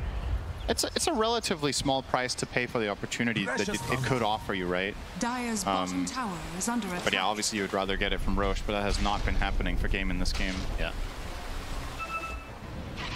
Yuragi. Oh, hook shot. Taiga finds Seleri again. He still doesn't Mar have is in force. the area to help finish the job. So support kill is Boom. He's going to be seen here from Misha, but pretty hard to catch that Storm Spirit without uh, either. I mean, they have Ice Path Chrono and Hook Shot. That is quite possibly the worst Gauntlet challenge I've ever seen. You get hookshot by Clockwork, isolated, and you don't have Force Staff, and then you challenge him to a duel as Crystal Maiden. I think you cannot use the Gauntlet any worse than that. Very good from Seleri. He knew that he was doomed. and I mean, Seleri, he's a memer, so. you're 31 minutes in and you don't have Force Staff on Maiden. He's having such a hard game. He had the dieback earlier we talked about. He's just been dying every fight. 11 deaths here. And it's Oh, we got the Okay. zip in onto Ammar Dyrachyo. Oh, it's the BKB from Ammar. He's going to try to walk away, and the rest of his team is here. The bash comes out out of the swashbuckle, but now the global silence in retreat for Gaimin. But doesn't have the. Yule Scepter, boom, out of mana and brought down again. OG punishing everything that Gaimin is attempting here in this game number two. Ammar's just so tanky. This is his standard Viper build. He tanks up Dragonlance Skadi. 3k health, 25 armor. is under. Lifestealer doesn't have the damage. Yeah, Dyrachyo. He's gonna be jetpacked on, and the bash comes out from BZM, gets off the open wounds, but it's not gonna matter. He is caught out. And two big, big kills for OG, as they can try to extend this lead now. Of course, Rosh, we won't know uh, when he'll spawn for the next 30 seconds, but they, they do have very good Radiant's middle tower presence on the map, does. OG. Yeah.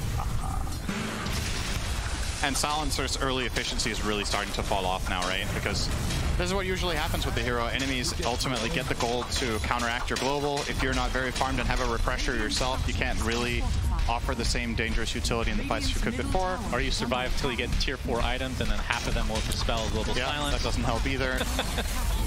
But Silencer has come back into the meta after a long drought, primarily because his one of his biggest weaknesses in the past was his laning stage just wasn't as good as it used to be, and he got buffs in that direction that a lot of the times makes it worth it, even if uh, because global is an incredible ability for a decent portion of the game, and the, the, the downside isn't as significant as it used to be with the laning stage.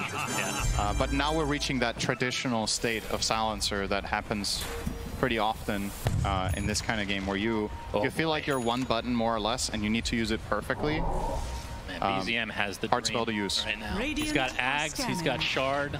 Uh, he has the 2.5 second shield crash talent at 15. He is doing a lot. He even has the Brigand's Blade, tier 2 item that he's going to still hold on to because it's that good Yeah, very on good. this hero. He is going to do a lot of damage in these fights. As long as he's able to get off the Rolling Thunder, he is going to be Radiant's top very tower is under attack. We have smoke from both sides. As Boom is being, uh, he's infested on right now. Radiant's top tower is I mean, one we should say one downside to infest bombing because that used to be the, the way to play this storm Naix combo from back in the day.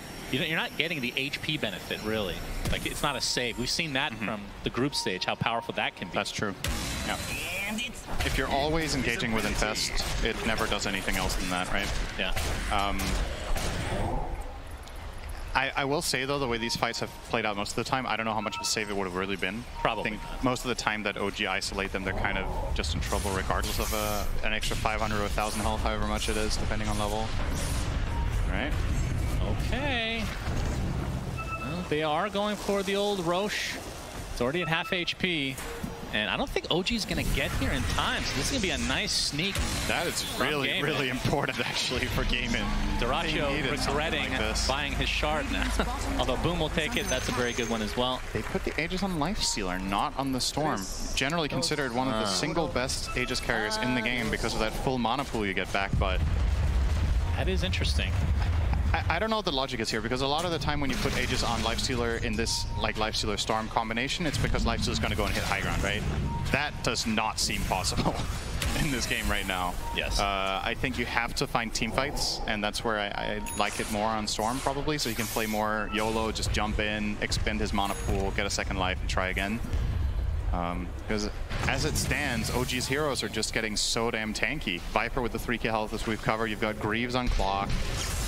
Tango's got Yuragi, he gets initiated on. Okay, And he gets blown enough. up from 100 Wow. to 0 instantly. Like I said, they don't have the damage, Shannon. It's uh, Well, case in point right there. if they're able to use, yeah, the the shard does a lot of damage from boom, of course, but I mean, like I said, the the open wounds it does percentage-based damage. Doesn't Yep. matter how tank you are. Of course, That they is do have ways to dispel it, but if you're going to be stun locked, then it eats through you very quickly. I think Yuragi was really surprised to die there. His 3k health and a, and a Titan Sliver just died in a vortex. Crazy. Obviously, Boom with the level 20 talent has that longer vortex, so helps out. Is eyeing up a BKB now, has the Axe. Yeah, don't count Gaimin Gladiators out, even though it looks hard, because that Rosh could have potentially changed everything. I think a little bit of a blunder there from OG. It's easy to say from our perspective that that is one they need to defend, but just didn't have the read at the right time that it was happening. And now Gaimin Gladiators Dire's structures are fortified. foot on the pedal, just straight down to bottom tier two. I don't think OG are interested whatsoever in trying to defend this So one. I I will say, even though, I mean, we're seeing them actually hit buildings with this Aegis, right? So Yep. that, like you said, having that in Life Stealer does help. Bottom tower Uh, and that's something that they did not take advantage of last time is when they got the Rosh, they were not able to do anything with it as the Macropyre used to slow down Ace, but he's going to be fine. Uh, he was eyeing up the Shivas, but he changed it now to Refresher. Uh, he gets hook Interesting shot, jump. and the cogs back in, but the zip in. Oh, the instant bash onto Boom. He has to use these Yules just to keep himself alive. We'll have to zip away now, as even the Infest is used to wi- actually disengage. Looks like Tofu's going to be the sacrifice, but that was an instant bash from the Swatch after the zip in from the Storm Spirit. It's a little bit unfortunate for Gaimin, but they don't lose too much. I believe the math on getting a bash when you... Oh, hang on. They're gonna go back That's in, and you can see they're gonna blow up Ammar right off the bat. And the buyback from the silencer just to get the global silence off. And now the pulverize coming through as well. Double kill for Dyrachyo as Yuragi wants to try to fight, at least trying to get the Crystal Maiden. He'll do so. He'll time walk back out. Not a whole lot of mana to speak of now onto the Life Stealer, but he's got that Ghoul Frenzy, SyndereN, which is all he really needs. He gets hookshot though, so Taiga gives himself enough space to walk away. This Diffusal Blade's being very annoying on the side of OG against Gaimin, but Gaimin coming out on top of another fight here. There is still Chrono. That was never expended in that fight. Global Silence on cooldown here from Tofu can't protect against Void going for that if he wants to. But yeah, pretty good again from Gaimin Gladiator. Sure, you use your Silencer buyback, but I don't think that was too terrible. Uh, Aegis, however, only one minute left, so I think they would love to find one more fight as long as this is online. Global up in 30 would align very nicely with the play, and you are seeing them all go back to base to get resources, and I would imagine a smoke could be on the menu next. If they have any left, they don't, I think. None of them are on their supports, so maybe that's just not a possible play. Ace is showing himself. Yeah, he was looking for something. He's gonna get gone on again though, and he's gonna be bursted Oh. again. He does have buyback if he wants to expend it, but it looks like OG will likely just attempt to get back to base. So Gaimin, again, Oh, boy. with I the mean- Aegis has made such a big difference in these fights that they feel very confident to go in. That kind of felt like a bait from Yuragi, but again, it's just he doesn't survive. They don't force staff him, they don't get the hook shot in time. I think that time the swashbuckle did also bash, so I don't even think he was unlucky on the Pango. It's the wrong read on how tanky he is, really, and I don't really blame him that much. I'm also a little bit surprised with how easily they kill him, but considering they already did it bottom, by now he should know what the game state is, right? So Yeah. this time around, I think less less excusable than the first one. Game and I mean, this game looked like it was getting really grim for them. I think, yeah, the the win probability was 84% for the Dire, and Yeah, now we're pretty much flipped. back to a 50-50. So anything, anyone's game again. Indeed. Hook Hook shot. shot, Dyrachyo no more with the Aegis. He's gonna get pushed Oh! back, but he gets the infest off in a creep, healing up a little bit, trying to get his HP back via right clicking, but it's not gonna happen. But the reinforcements have arrived as Boom able to get one, but Taiga buys back into the game. Ace pops to BKB, now focusing on Ammar with that trample, doing quite a bit of damage. Now we'll have to just uh, TP out, but he gets back. Whoa! Oh, it's on okay. cooldown. It was on cooldown, I think, from shield crash. The bash was on cooldown? Yeah, I think he got a bash from shield crashing on the left. Ah, So I think his basher was on cooldown for that one. Because like that was a shield crash plus a full swashbuckle. If you don't bash, the, I don't know, it's like 25% maybe to not get a bash when you use both of those together. I think we're going to see it perhaps in the replay here, so keep an eye on that in the end off to the left. Nice global here, by the way, was almost enough to save the uh, the the life stealer. Didn't mention the Greaves, by the way, on clock to be able to Yeah. dispel that. Very nice. Exactly, but the, the global just took made him take a little bit of time to make that play, and that was enough to not get the full Cogs combo off. But we're gonna see here. I think this is where he. I think he already Oh, crashed man. off to the left, right? He was on cooldown down there. So Yeah. No, he's happy. Yeah.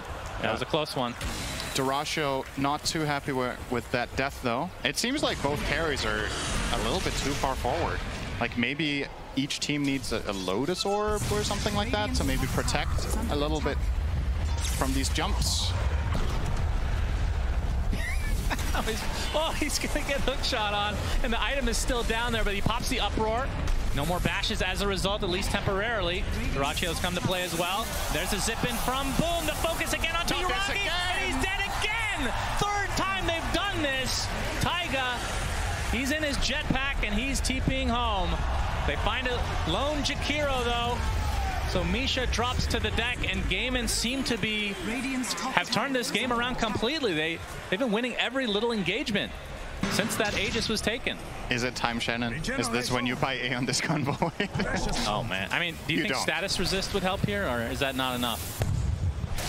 I mean, I mean, it obviously feels bad to have to go for it, but he even swapped out his status assist, right? He gave away the Titan Sliver to get a Ninja Gear, so I think in this, it's actually kind of ironic. I think in this moment he might have actually survived with the Titan Sliver if he had had it. I think that would have, out of the three times they killed him this way, this one it might have worked, and that was the time he didn't have it. I, I don't know. I, I'm joking about the disc, of course, but they need to find some sort of way of protecting their void. OG have really dropped the ball a little bit here in the last few minutes. yeah, Boom has Sheepstick now. That's huge. So yeah, now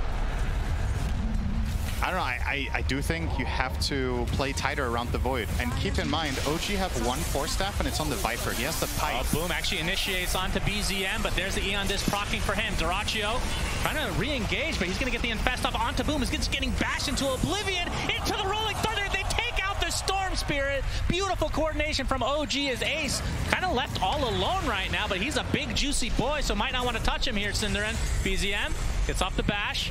Ace has to use Refresher, and he gets bashed mid-TP. Oh, but gets off the onslaught and into the Yules. I would assume this is going to be a kill eventually, but he gets out the Pulverize now. Is he going to get this kill on the BZM? Pops the Shard, and Ace just getting kited with the time dilation on top, and eventually the big bad beast is dead. That is terrifying, though. the fact that he almost turns that into a kill is kind of ridiculous. Again, the damage recap for the... How many fights does Ace have to do more damage than his teammates Man, the, I'm sold on the Ags, by the way. It's, yeah, it's really good. I, I, I'm very impressed, too, I have to say. It's doing more than I was expecting.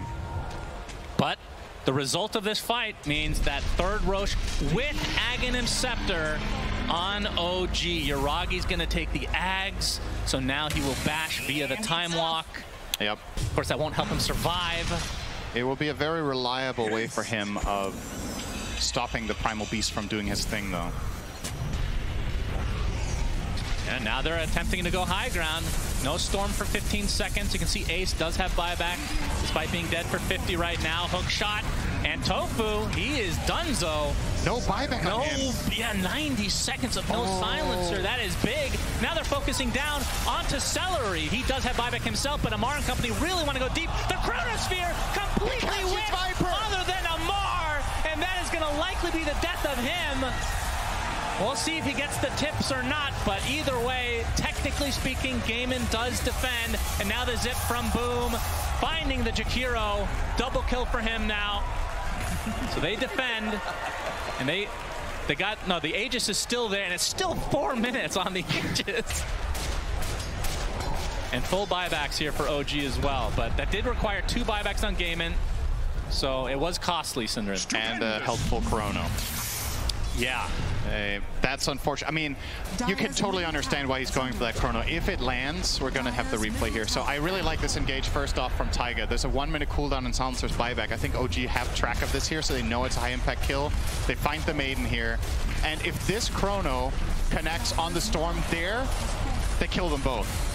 We're talking 0.3 seconds, so it's like easy to be like, well, um, what are you doing, Yuragi? Oh, But- we got a double buyback from OG as they've lost their mid set of racks. And that means Gaimin resetting. You can see Ammar not too happy with being chronoed by his teammate. Understandable. The ace is infested on. You can see Gaimin. If they can get the nice little cheeky kill on the BZM, that'll be a dieback. okay. Zip. Okay, that's the Aghanim Scepter. Electric Vortex onto the both supports, and they're both dead No just like buybacks. that. And now pulverized, but the Aeon Disk procs is BZM trying to find some distance. Dyrachyo and company trying to focus down Yuragi again. There's the onside. There's the first death. Do they have more stuns? We'll see. Spawns back in. Frostbite is dispelled instantly. Seleri getting it. okay. Boom goes in with another big stun. The Yule's keeping BZM alive, but this might be the death of him. Gets off the shark and the swashbuckle. He's alive, but there's oh, the onside again. Are you serious? BZM still lives. That would have been an enormous kill just based on not having buyback anymore. Oh my god, I can't OG we dodging a bullet. that. My Yeah. goodness. Such a great initiation from Gaimin Gladiators, all set up by that offensive observer ward that they had in the base, seeing both supports, and they get a great jump with the attack. AoE Vortex into follow-up Primal Beast Onslaught. But still, in the end, I don't know how if, if the backtrack gods were helping out the Void there as well to delay this under maybe a little bit further. But look at that beautiful That engage great. there. Easy double kill there. Tower has And now, keep in mind, Ace, we haven't, I don't know if you mentioned this, he has the Pulverized talent. Did you mention that? The 25 talent? So pul- the Primal Beast has two amazing choices to make at 25. You either double the duration of Pulverize, oh. or you make it Pierce BKB. ZM gonna use his shard, but they're gonna try to focus down Ammar. The open wounds is ripping him a new one, but there's the Chronosphere. Oh, he gets popped outside. Boom will live. Unbelievable. And we'll see if they're able to turn this around as Yuragi. Oh my god, he time walks everything off. But BZM is taking the brunt of the damage, uses a shield crash, trying to get back to his base, but the onslaught finally finishes off Oh, the Dyrachyo Pangolier. Dyrachyo barely alive as the uproar doing a good amount of damage, but Ace will finally fall. So it- technically a one for one exchange. Tofu able to TP oh, out. Everything is so close. Everything is literally like one millimeter getting bounced out of the chrono, one millisecond on the TP, everything just tooth and nail. I thought OG might have lost the game there, honestly. Yeah. Like when he gets bumped out of that chrono, I think Void was on 5% health and got time walk off. Like so close Yes. from both sides. You're gonna see everything here. So that rolling thunder is now gonna be on top of Boom. There's the Oh chrono. my so now he gets God. bounced out, gets Unreal. force theft, and now. Yuragi is gonna drop super low, backtracking some of the damage. Yeah, just Time some. in and out. Oh, My meanwhile, Ammar, he's God. dead. 115 seconds of no Viper. Big kill was for Gaimin. Was he just out solo pushing mid? Yes, His teammates were too far away to help him. He does not have buyback. that might be it. and Pango's dead as I mean, I guess the reason he feels somewhat comfortable doing that is Primal Beast is dead. You're not safe if your teammates aren't there. They're playing it safe. They're not going to go for Throne despite being in a 4v5 advantage or 4v3 advantage. So we'll take the top set of racks and then can waddle their way back down to bottom to get megas. But still so much time without these heroes. But here's the initiation. Global silence, but the instant BKB. But then now the bash applied to Yuragi. Now trying to focus down Dyrachyo, who's going to have to time walk out. And instead, they're going to lose Taiga. Does have buyback, though. Yeah. That's two sets. has fallen. Dire's top Now to the bottom lane they go. Still 30 seconds until their Primal Beast is back. I actually think OG had to try for that. If they don't do it, they lose the lane for free and the play just happens bottom instead. Now they have a buyback play potentially with a 10 second cooldown on Chrono. This is defendable because Ace is dead and Pango is spawning. Gaimin actually needs to be a little bit cautious here, but they don't know necessarily what could be coming their way right now. Nice rage reaction on the ice path though. Bash. Gets bashed inside, though. Chrono is available. Not gonna try it. Yeah, reverse time walk back out. And you can see Ammar obviously dead for 30 seconds. He's the one holding cheese as well, so that's an important item potentially uh, that's still sidelined. But now it's a 5v4 until Ammar is back. But they were not able to secure megas. And OG still have everything at their disposal once Ammar is back online. Man, what? This is not is at all good how. I imagined this game playing No. out 30 minutes ago. Like, no way would I have imagined that we were getting this. What a treat, though. It feels like every team fight has some sort of detail that means everything. yeah, and it's always something very small, Yeah. technically speaking, right? Like one key backtrack, or one hero getting pushed a little, or one perfect force stab. All right, the initiation onto Yuragi. He's going to get pulverized. Is this enough? Not enough to keep Boom in place. Big rolling thunder from BZM as the Viper strike now to Dyrachyo. He's going to get chronoed as well, and he's going to be brought down. He also has buyback, though, but that's the bigger kill on Ace, who does not. And he used Refresher, too, before he died, which I guess actually doesn't matter because he doesn't have buybacks. Thank you, Shane. Great analysis, as always, from SyndereN. As now OG, I don't know who's in the driver's seat. I don't even Do they, know. I I feel like do they have they have they kept track of this buyback timing on Primal? Like, it's a minute away. Sometimes True, you don't have the exact timing, and it's like on a hunch, right? If you know for a fact it's not up, this is where you could push for barracks. And again, they do kill Yuragi, but this time in his own base with Oh, the these buyback. pulverizes are absurd. Imagine if Ace gets level 30. Yeah, So he has the those. other talent too, because that is just absolutely dirty. 100% pulverized duration that pierces magic immunity makes it effectively a six second single target stun. Yeah, That does AoE damage. not too bad. And it lines up perfectly with your BKB duration, right? You pop BKB blink in, six seconder into a six second pulverize. Couldn't be better. Wind OG Waker. are not going to capitalize on this at all. Yeah, They can't. But they will have their eyes on potentially Rosh, which we know it's going to be a while. The potential spawn time is already up, so it could spawn at any second, and neither team is scouting it right now. Uh, obviously, OG will fire rockets there as soon as Taiga is up. They don't know yet. And I do think the crucial thing there is, sure, OG defend their base, and it is a pretty good team fight win, but I think Void's buyback is worth more than 5k net worth. Like, I think if Gaimin Gladiators lead was 10k before that fight and it dropped to 5, I still think I would consider that um, a, a win for the time being, because they have a clear way to victory now. Yes. Killing Void ends the game. I mean, look at the So- buyback situation right now. Simon. Yep. All That five is- of OG have none. Yep, All exactly. five for Gaimin have theirs. You just need any sort of good core kill, especially faceless, and I feel like you've got this one locked down. You also have a nine second BKB on Boom. He finally buys it and Oh, has wow. buyback. A so- very late game yeah, BKB. He got it minute 53. Okay, Taiga. Shot. Is that going to be the kill on the support? But there's a global silence. Boom comes in with a beautiful electric vortex onto two. The support is already dead, and Ammar extremely low on top. But he pops the cheese. Now he's taking the right clicks from Dyrachyo. But there's the Chronosphere with the Macropyre on top. Is it enough to take out Dyrachyo? It's going to be close. He gets silent, so cannot rage, cannot use open wounds. But he dies and buys back. Three dead for OG. No buybacks available, and that might do it. Gaimin will have a free path to this next Rosh. Yeah, they're gonna And a get free Misha path too. potentially for the game. Misha doesn't have buyback either. Indeed. Four dead on the sidelines. Misha is done. If they've kept track of the buybacks, they don't do this. So Gaimin Gladiators don't actually know the game state here. This is 100% over if they just push. It's always very. Absolutely no way Void could defend this. Maybe they're just going for stats. They need Rosh kills, SyndereN, to get their quest completed. Yep. Maybe that's a bonus that Gaimin Gladiators, the org, will give them. The more Rosh kills. We promised you would bring you the Oh, we get to see Life Stealer, Aghanim oh! Scepter, Yuragi. He's going to get punished. The sheep stick is there. Please use Infest on top of him. For the love of God, no, we won't. But it's a full team wipe, and GG is called as GG. Gaimin Gladiators extend it to game number three. What a game. I was not expecting them to come back, but No. that was it the second Rosh that or was it the, The one first? they snuck. The one they snuck. Yeah, they basically won in the 10K game. behind. What an insane comeback this was, honestly. Like, that's got to be such a huge morale boost too. You know that you were losing that. We are gonna win this game in 30 minutes. Oh my, he calls it. We Babe Ruthed it out there, sir. I'd ask you another question, but that's hype as hell. We wish you the best of luck, Mr. Faith, and we will throw it over to our casters. Let's get ready for game number three.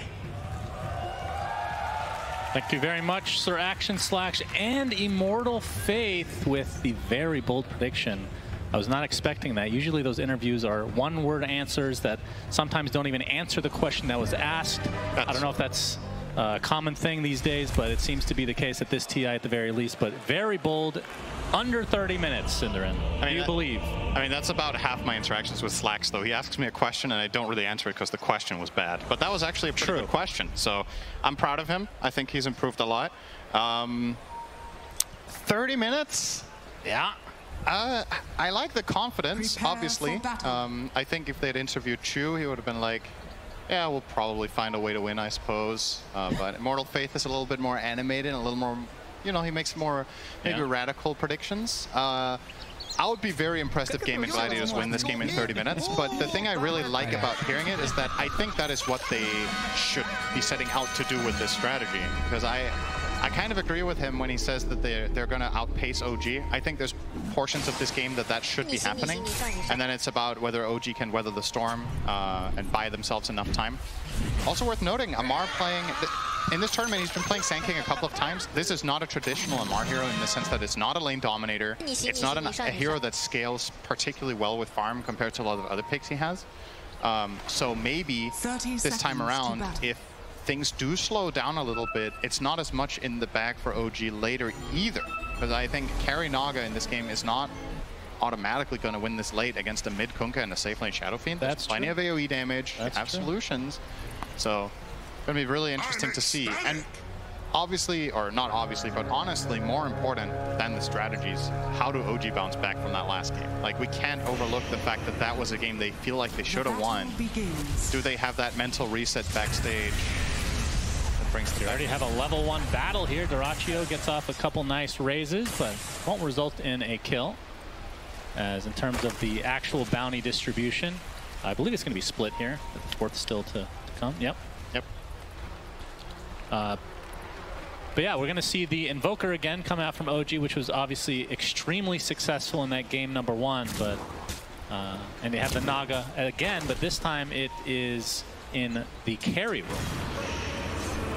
So looking at their lineup, like what is their goal other than to win the game? Don't don't make that joke. Like what kind of a pace are they trying to set? Like they just want to stem the bleeding, which is the laning stage for them, or I mean, there's plenty of combination plays for OG, right? You have Sand King Mirana, as was pointed out. You have the Sunstrike. If they can make a couple of successful early skirmishes like they did in game number one, I definitely think their mid game can be really strong. Uh, but I, I would say their lineup is more dependent on being able to do that. Like, let's say nothing happens for 10 or 15 minutes. I think Gaimin Gladiators have this really, really strong uh, potential push with Tombstone, with Beastmaster, uh, with the Shadow Fiend, and Kunkka hitting this like really strong mid-game peak. And it's their bread and butter as a team, right? This is what they were so good at earlier in the year, so you would imagine that they have the confidence to pull it off, playing this faster pace. Yep, and once Ace gets a couple items, Helm of the Overlord, I would assume. That's kind of a, feels like a bit of a death ball, where they try to get these towers relatively early, but we'll see what the pace ends up being for them. Uh, mid lane is Boom on the Kunkka this time around versus, as we talked about, BZM's Invoker. What do you think of the Kunkka pick this game? Because that's, a lot of these heroes have been kind of recycled throughout the series to some degree, other than Sand King, I guess, Mirana, and this, this Kunkka. Yeah, it's a hero that generally does very well against Invoker, but I think Quasic Sword has a, a, much stronger laning phase against it than Quaswex does, so I would imagine this lane probably pretty much breaks even.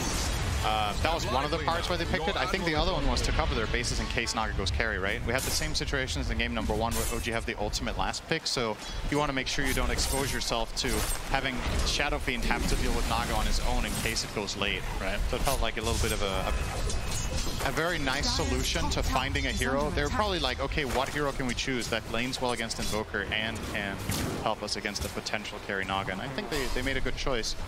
Also, the whole pacing thing, right? Like, I just think this lineup is it's nice to look at. It's a clear story to how the heroes want to combine and get something done.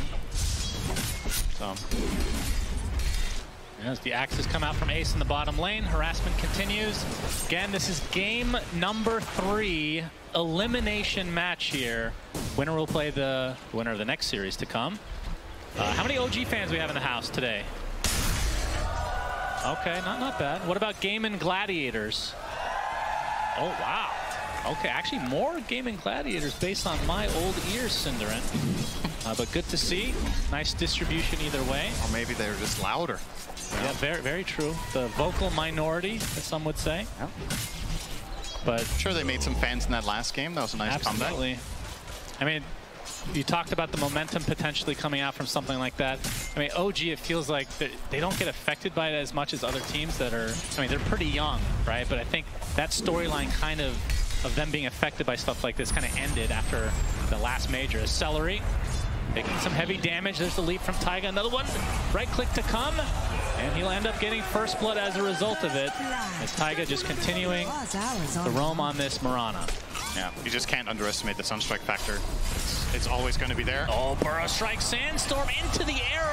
Oh, even bigger kill coming out from OG in the top lane. That was very greedy. Did he not expect Ammar to be there?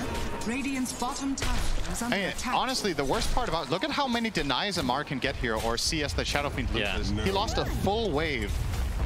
I mean, sure, Seleri gets some experience here, but that is that is just not a good start. And you know, Shadowfiend Undying lane, I would pick any day against Sand King Mirana to have a good start, but just Undying being a dominant force in this lane with decays, he's, he feels very safe, but Sunstrike is that X factor. You just can't deny that that is the kind of thing that can swing this kind of lane, and OG are making use of it. Yeah. I mean, that's how arrow is balanced, right? It's hard to hit, but if you have the setup stun, Yep. Gets pretty scary. Burrow's not too bad for that ice path as well. If you want an arrow that you don't have to hit, you can play Gyro. Okay, sure. Um, it's a lot weaker than a perfect arrow, though. That's right. It's not as exciting, some would say. Oh, again, top.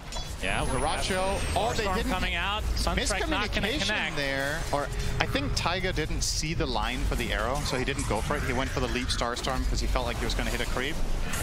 Dyrachyo counting his lucky stars there. If there's an arrow connection, he's dead again. Glimpse. Yeah, Okay, Ace ace save. trying to get rid of these pesky illusions via the axes. Yeah. And look at their inventories bottom as well. Ace with the triple mango Basilius and Tofu with the triple mango. So just really I mean, Ace loves these non-stop spamming. He does. Even last game. They're just spamming, spamming, spamming. Yuragi running low on that region. There's a couple of tangos left for Misha to pull.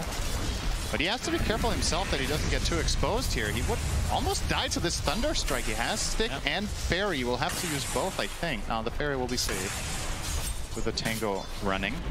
Tofu successfully dealing tons of damage as this support disruptor. Get Ace's CS line here. 13 Oh, denies. got the ensnare. Sunstrike to come, and that's enough. BZM. That's going to help him in the mid lane. Yeah, it's going to give Yuragi a bit of breathing room. He's getting crushed. He's 19 and 0 against Beastmaster's 34 and 13. So 13 denies on that Beast. Definitely has a big laning or level advantage until that Sunstrike kill comes in. And mid lane before that point, I mean, basically even on the CS between BZM and Boom. And we'll see if BZM kind of changes the build at all, or if he's just going to go the exact same thing. I mean, obviously the Midas not too big of a surprise. And then after that, we'll see. I think he'll do the same again, yeah. Loaded to the gill. Uh, this does not feel like a Midas Sand King game, though. I will make that prediction ahead of time. Yeah, time. pretty good call. that would be one of the worst heroes maybe to get that. Especially, he actually farms relatively fast once you get the sandstorms up, but yeah. I mean, this Yeah, is don't you worry. Ammar's going to max Sandstorm, okay? There's Oh, a yeah. limit. Of- There's a, he is not maxing Burrow Strike. Understand. Uh, no way. in terms of CS or net worth overall, Dire's kind of averaging out right now. But like like you said, Ace is kind of tipping the balance a bit in Gaimin Gladiator's favor uh, between the two offliners right now. And With I a mean- very fast Helm of the Dawn, this bottom lane actually becomes a lot scarier for OG. I don't think they can really afford to send their Mirana down here to do cleanup duty. Like, if you swap Mirana and Jakiro, I think your top lane is very susceptible all of a sudden. Jakiro does not perform nearly as well as Mirana against Undying Shadow Fiend, so that lane swap wouldn't really be too good, I think. And Snare bottom, There, there's the Sunstrike Sunstrike. coming, but it's going to be shared, it looks like, between Tofu and Ace. But Oh, still, that these damage. axes glimpse now onto Yuragi. He's getting very low. Has to pop the wand. The ice path used to dissuade GG from continuing on, but Taiga has TP'd in. Leap into the Star Storm.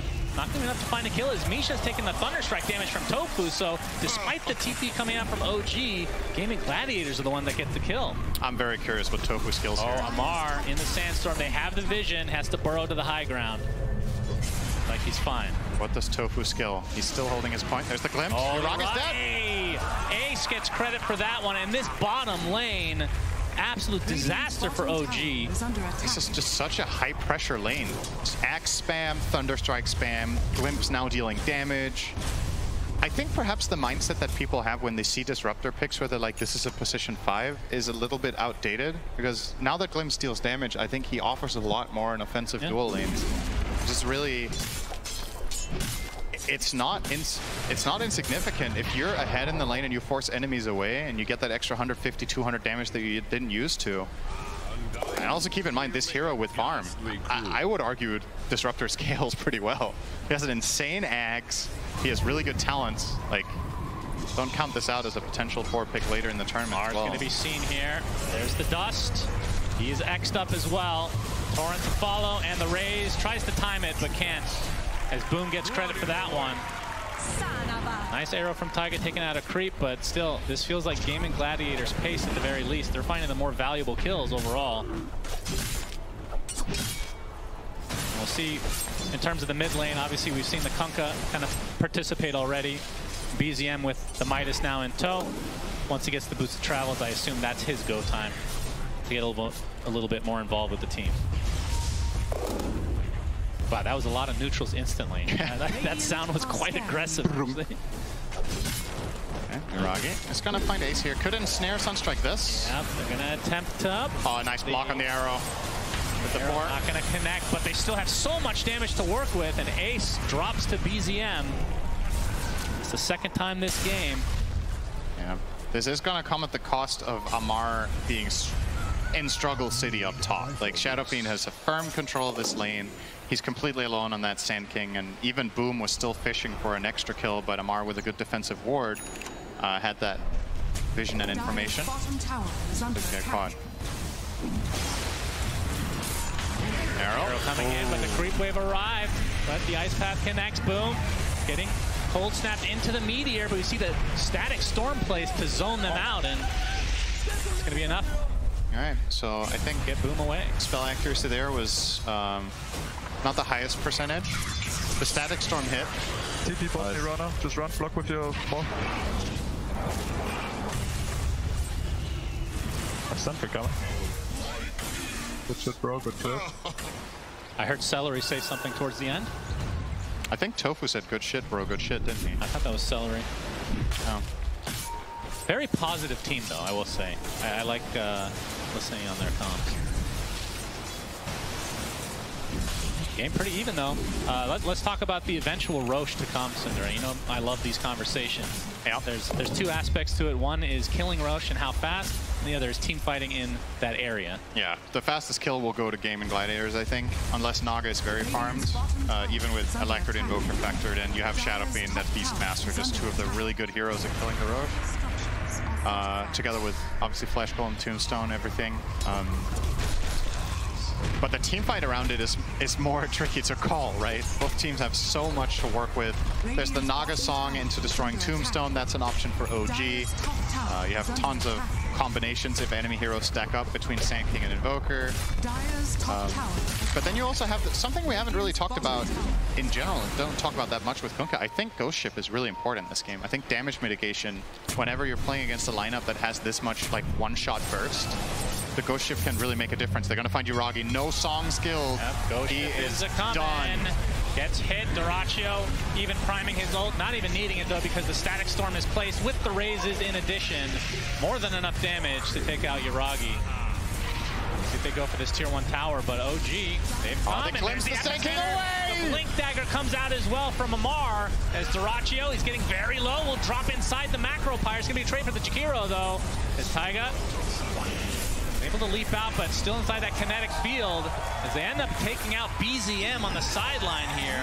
And four dead overall in favor of Gaimin. They lose the Shadow Fiend, but still, numbers on their Such a good play from Tofu. That is so crucial that he finds that there. Sand King with the Blink reveal, Blink Epicenter stun, instantly glimpse to the top lane. You're going to see it here. So gets this initiation. He sees him there.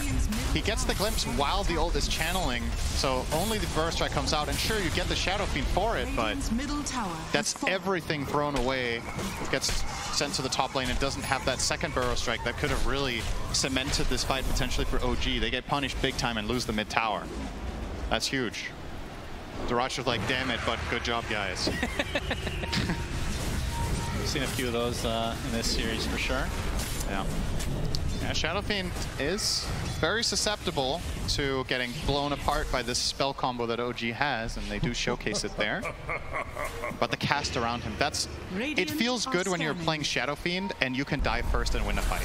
Because a lot of the time this hero is sitting on so much of your team's net worth and he's somewhat frail and you know, you, you get punished really hard. That time he wasn't even needed. He just sponged up damage and his team cleaned house.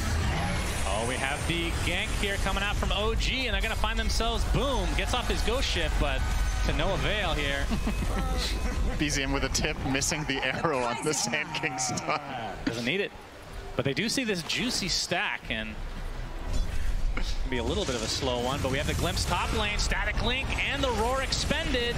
Looks like BZM is going to tick out here one way or the other. Amar able to TP top.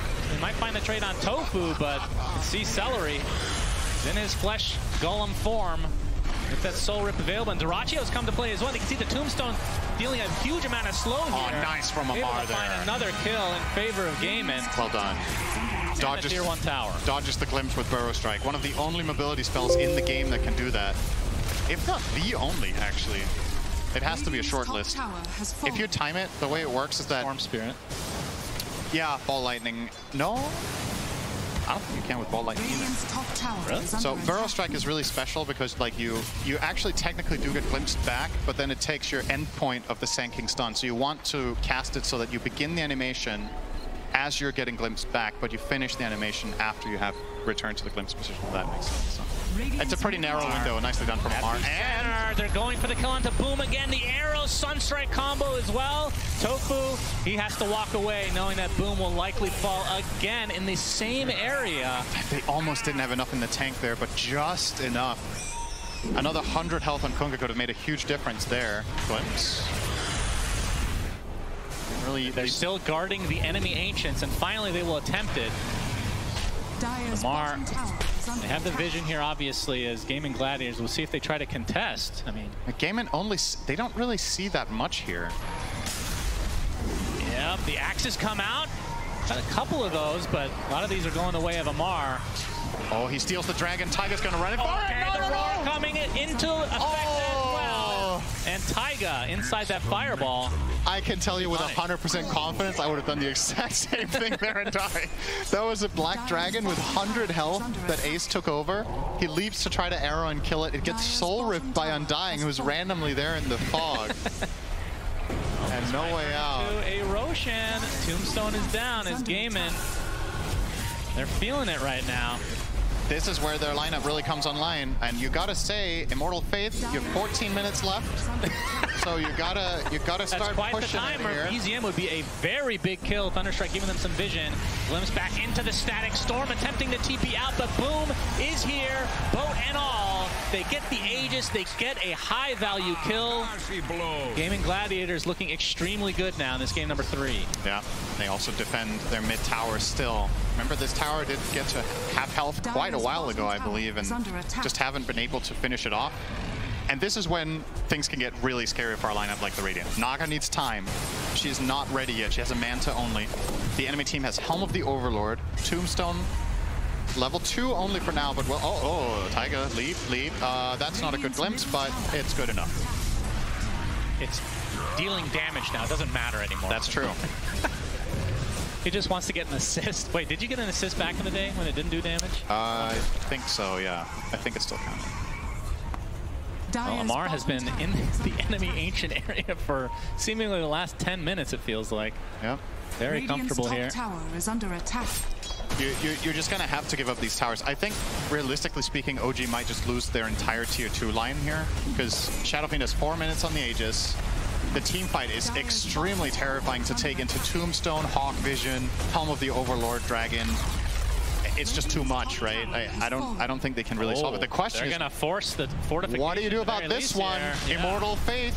He, Immortal Faith. he gave them maybe too much of a buffer. Maybe should have said 20 minutes. That's right. There's the X. Tier 3 already at half HP. Torrent connects, but they're just doing the damage to the tower right now. Two thirds of it down. Absolutely. And did he? He didn't use Tombstone yet.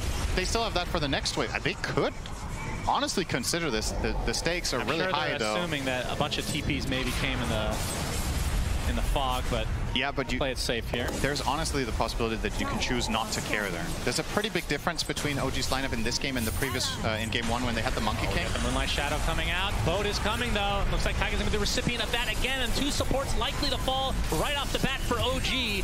5v3 advantage. Tofu, never mind. He's the support to fall for game, and now Yuragi's gonna be found out. Now this will be a huge kill song. Ends up resetting for OG. This should open up Gaimin Gladiator's way to just push down the mid lane potentially, but Ammar's thinking the same thing. Takes out the next wave. Yep. Managed to cut that. This is pretty crucial for him, buying that time. I think if he doesn't do that, that tower's gone. So, good job there. Effectively delaying the game so BZM can close in on a BKB, and Yuragi surviving there also very important. But you're seeing the pace that Gaimin Gladiators can put with this lineup. It's very, very quick. And they are they actually going now? All right. That's good enough for them. No song. Yep, that's a big spell down for sure. Two minutes on the Aegis still. Macropyre's there. Arrow connects. Can they get the first life from Dyrachyo? Attack. Radiant's Gonna get Soul ripped back to a respectable amount of HP. And looks like they might just be setting their sights on the tier 2 mid instead here. Yep. And in the meantime, BZM solos the bot tier 2 towers Invoker, opening up outpost possibilities. Oh, that arrow. Could not go anywhere. Doesn't matter though. Radiant's middle tower has fallen. remember, coming into this series, I believe the stat was in the last year or so, seven was it 17 and 4 Yes. OG's favor? Yeah. Is that are series or games? Games. That is absurd. And now we're on game number three, brink of elimination for each team.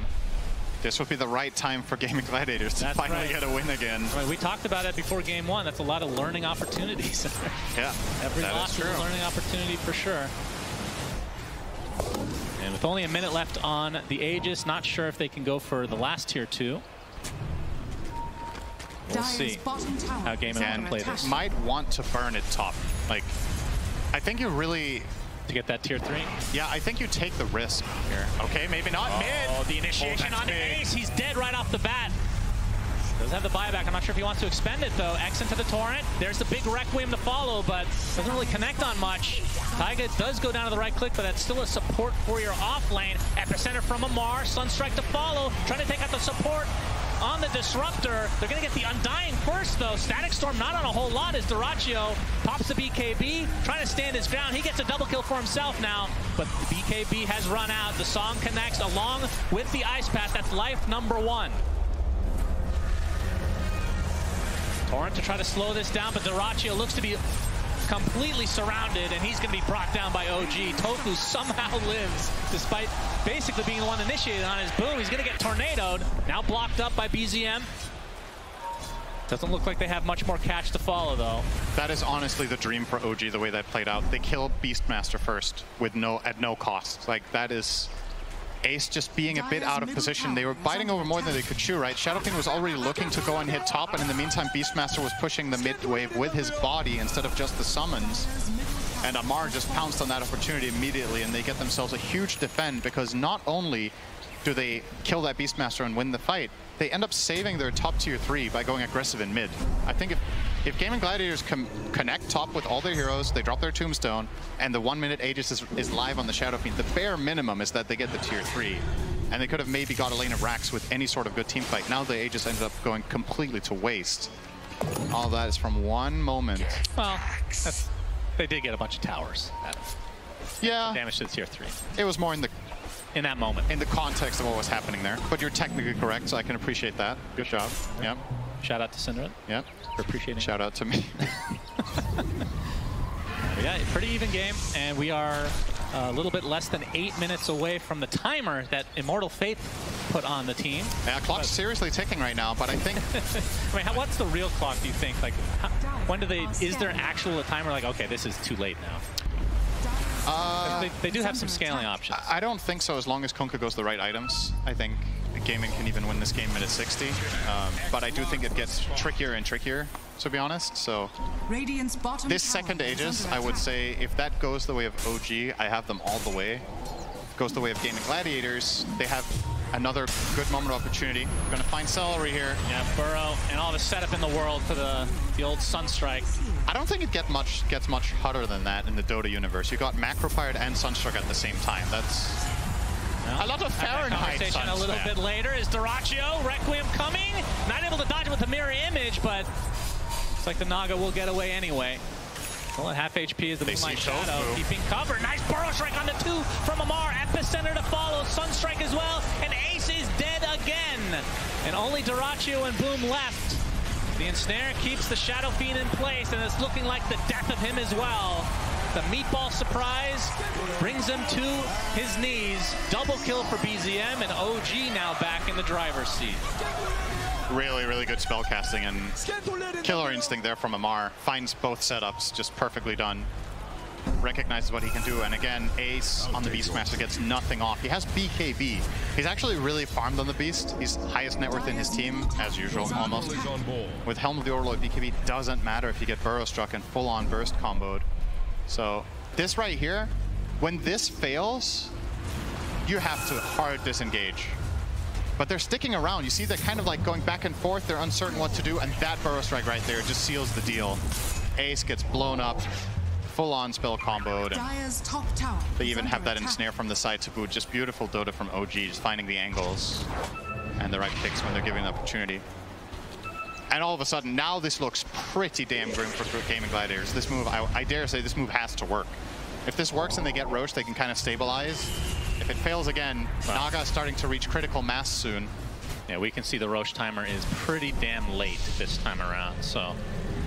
Uh, but yeah, I agree. The second Rosh is a requirement for game, and it feels like. Radiant are scanning. Both sides smoking though.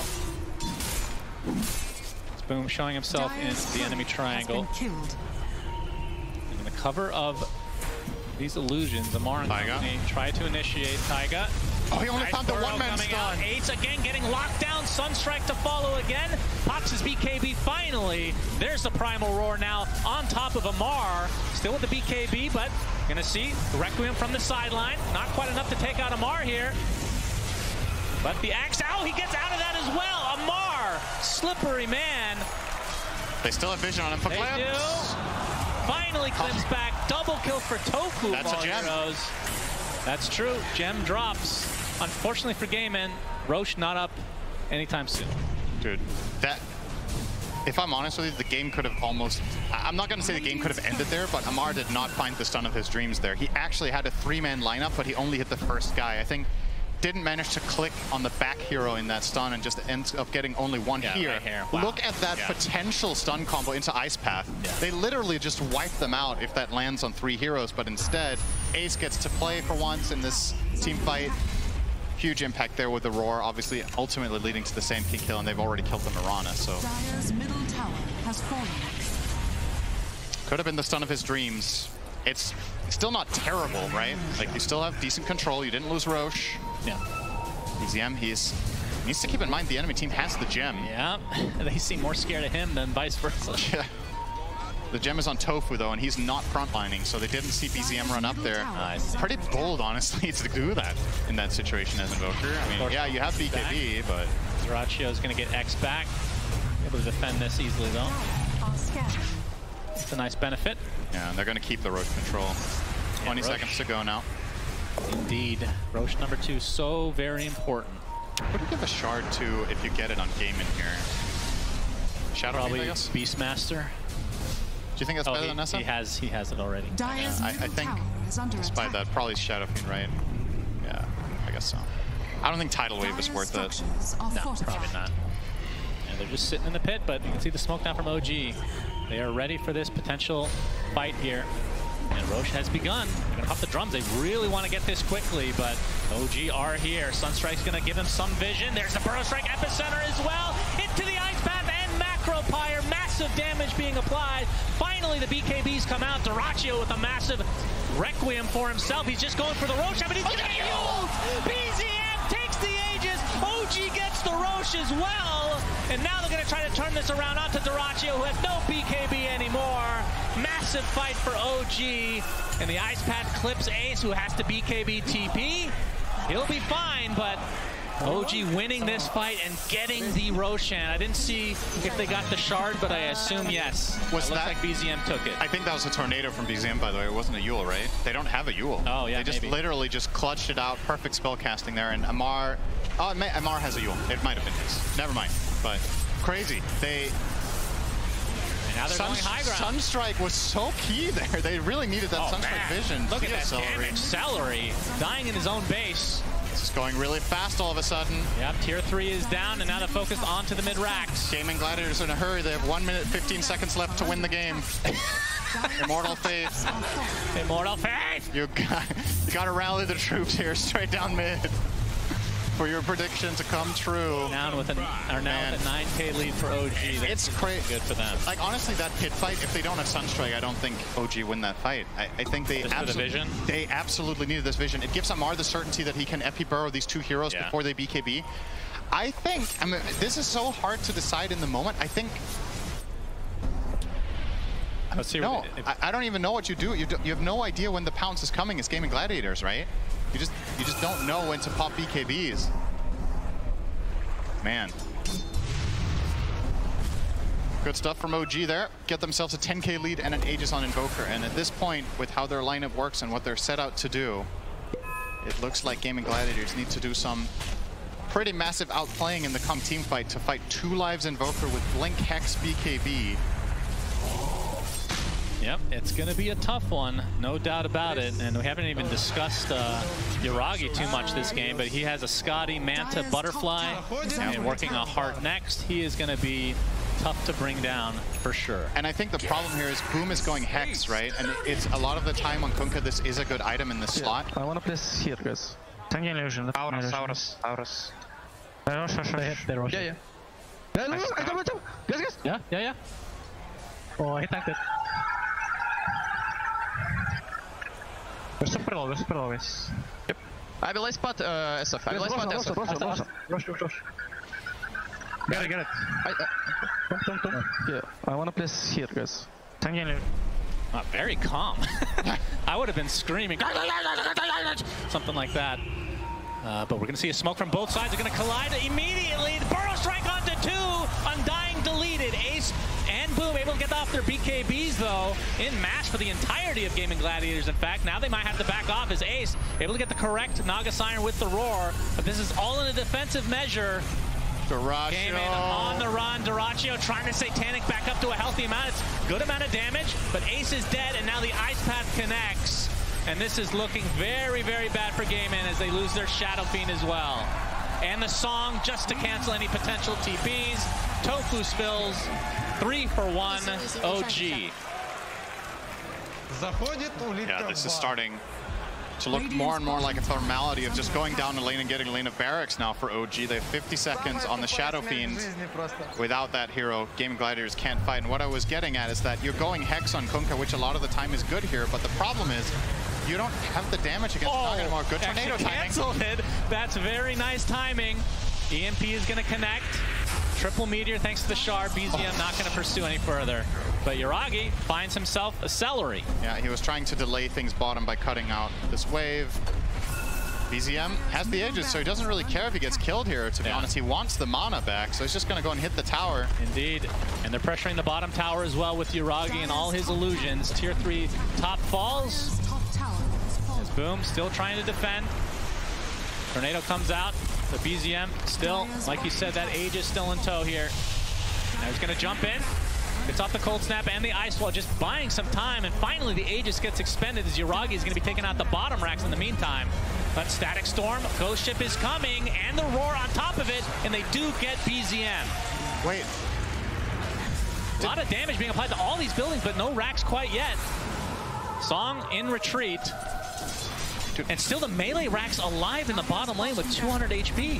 How the hell did Tofu know to static storm there? There was one second cooldown on the BKB on Invoker at the end of that kill. Oh, just probably just did it. They just Heartless, right? they just felt it, you know? They're like, in my mind, when Invoker plays like that, oh, he has BKB for the second life, you know? Right. But they actually took the chance that, on the off chance that he doesn't have it ready yet, we get the kill there, and they did. That was really surprising to me that they find that kill on BZM and effectively defend all three lanes. They've lost all the towers, though. Literally everything is just ripe for the taking, but that was pretty crazy. And yeah, okay, I, I like this from Boom. He deviated from the Hex. I think he realizes they need more damage. Like, the Naga illusions are too big of a problem. They have 4k health. He has to be able to deal some more AoE cleave. He's going now for the Silver Edge, is a good connection item. I, I honestly wouldn't mind seeing him going Rapier after that if we get to that point instead of Hex. I think you're in that territory now where you have to take huge risks in order to pull it off. I mean, how good is uh, Rapier these days on him? I mean, with all the changes that have been made in the last few years. I think it's pretty solid uh, when you have the Silver Edge.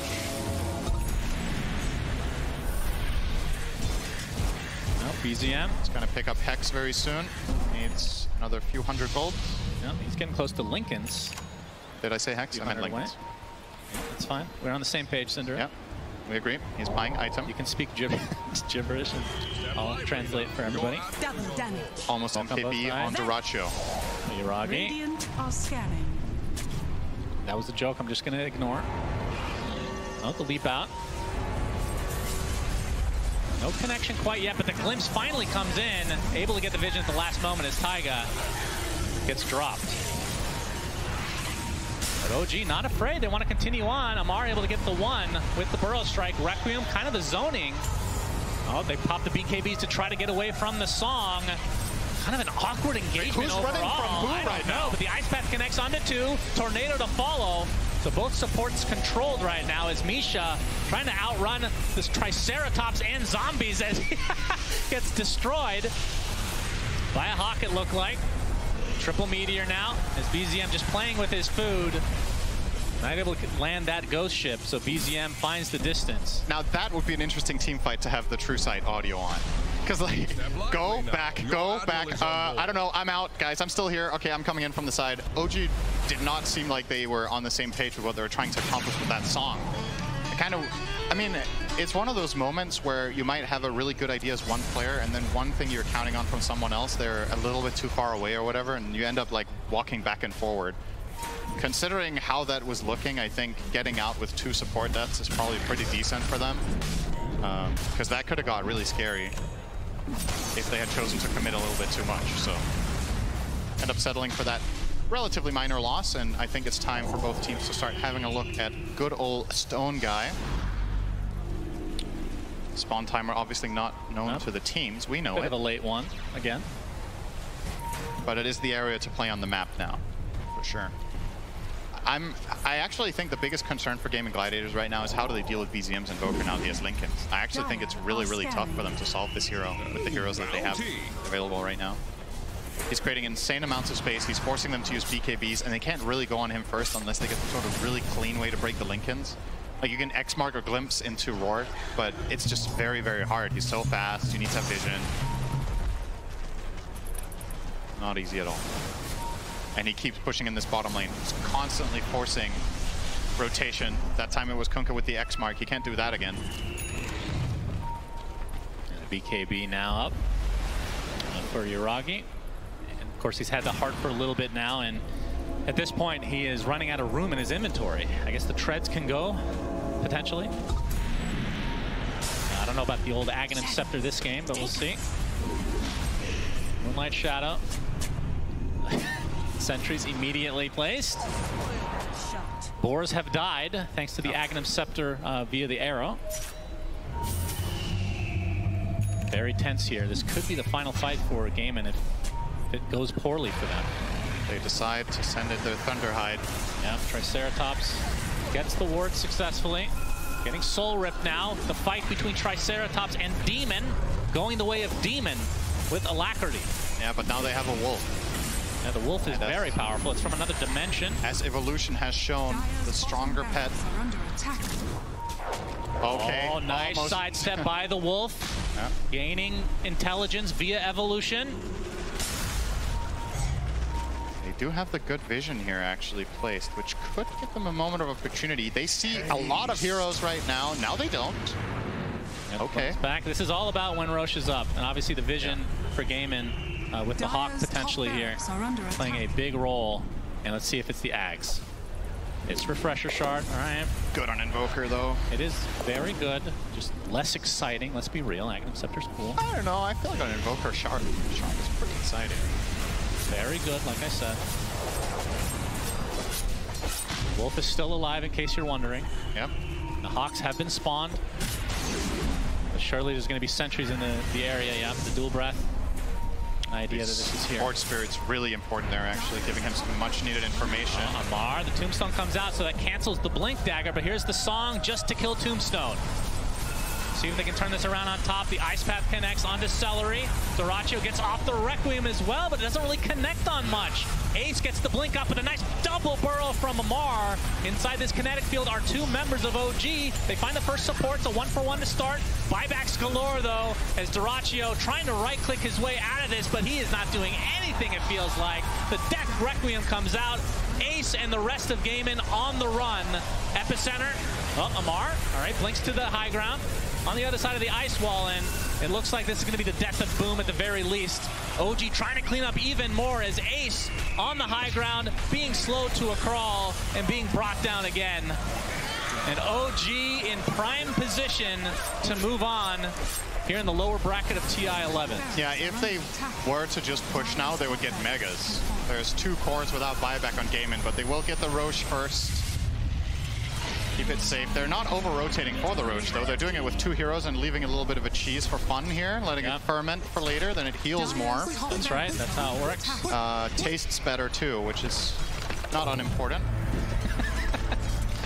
That's top top racks racks. are gone. The creeps will take care of it. And onto the mid lane, OG goes.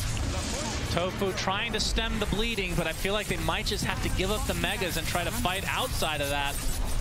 Just because they don't have these heroes up for quite a while. Plenty of time for OG to try to finish this right here, right now. The Burrow Strike onto the Disruptor. Does have buyback, though. Seleri is going to be spotted in the trees. Tornado not going to connect. Along with the Sunstrike as well. Looks like he'll make it back into the fountain as the song being used to control them. Oh, that's Ice Path. path. Oh, BKB from Dyrachyo, but if you have to use that next to your fountain, that's probably good news for OG. Glimpse back on a Taiga, but the Mega Creeps have come. The zoning is successful. Trying to focus Oh, down. that's a beautiful burrow strike from Ammar. Ice Path to follow, but Dyrachyo with the Requiem from a good distance here, but they're really just working on the illusions. That's what's taking so long. And again, OG, four minutes on the Aegis. Now we have the Deafening Blast. The, the six meteors come out, burning them in their own fountain.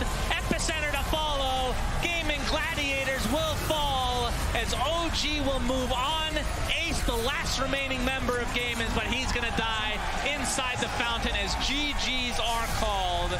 So Gaimin Gladiators, a great year overall, but eliminated here at TI-11. And OG will move on. Yeah.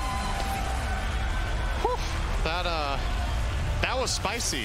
If you uh, if you think back 15, 20 minutes ago, that looked like OG could have easily been on the ropes with one good top push. Gaimin Gladiator's strategy was not far from being successful in what it was trying to accomplish with that first Rosh, but that one moment where they have Beastmaster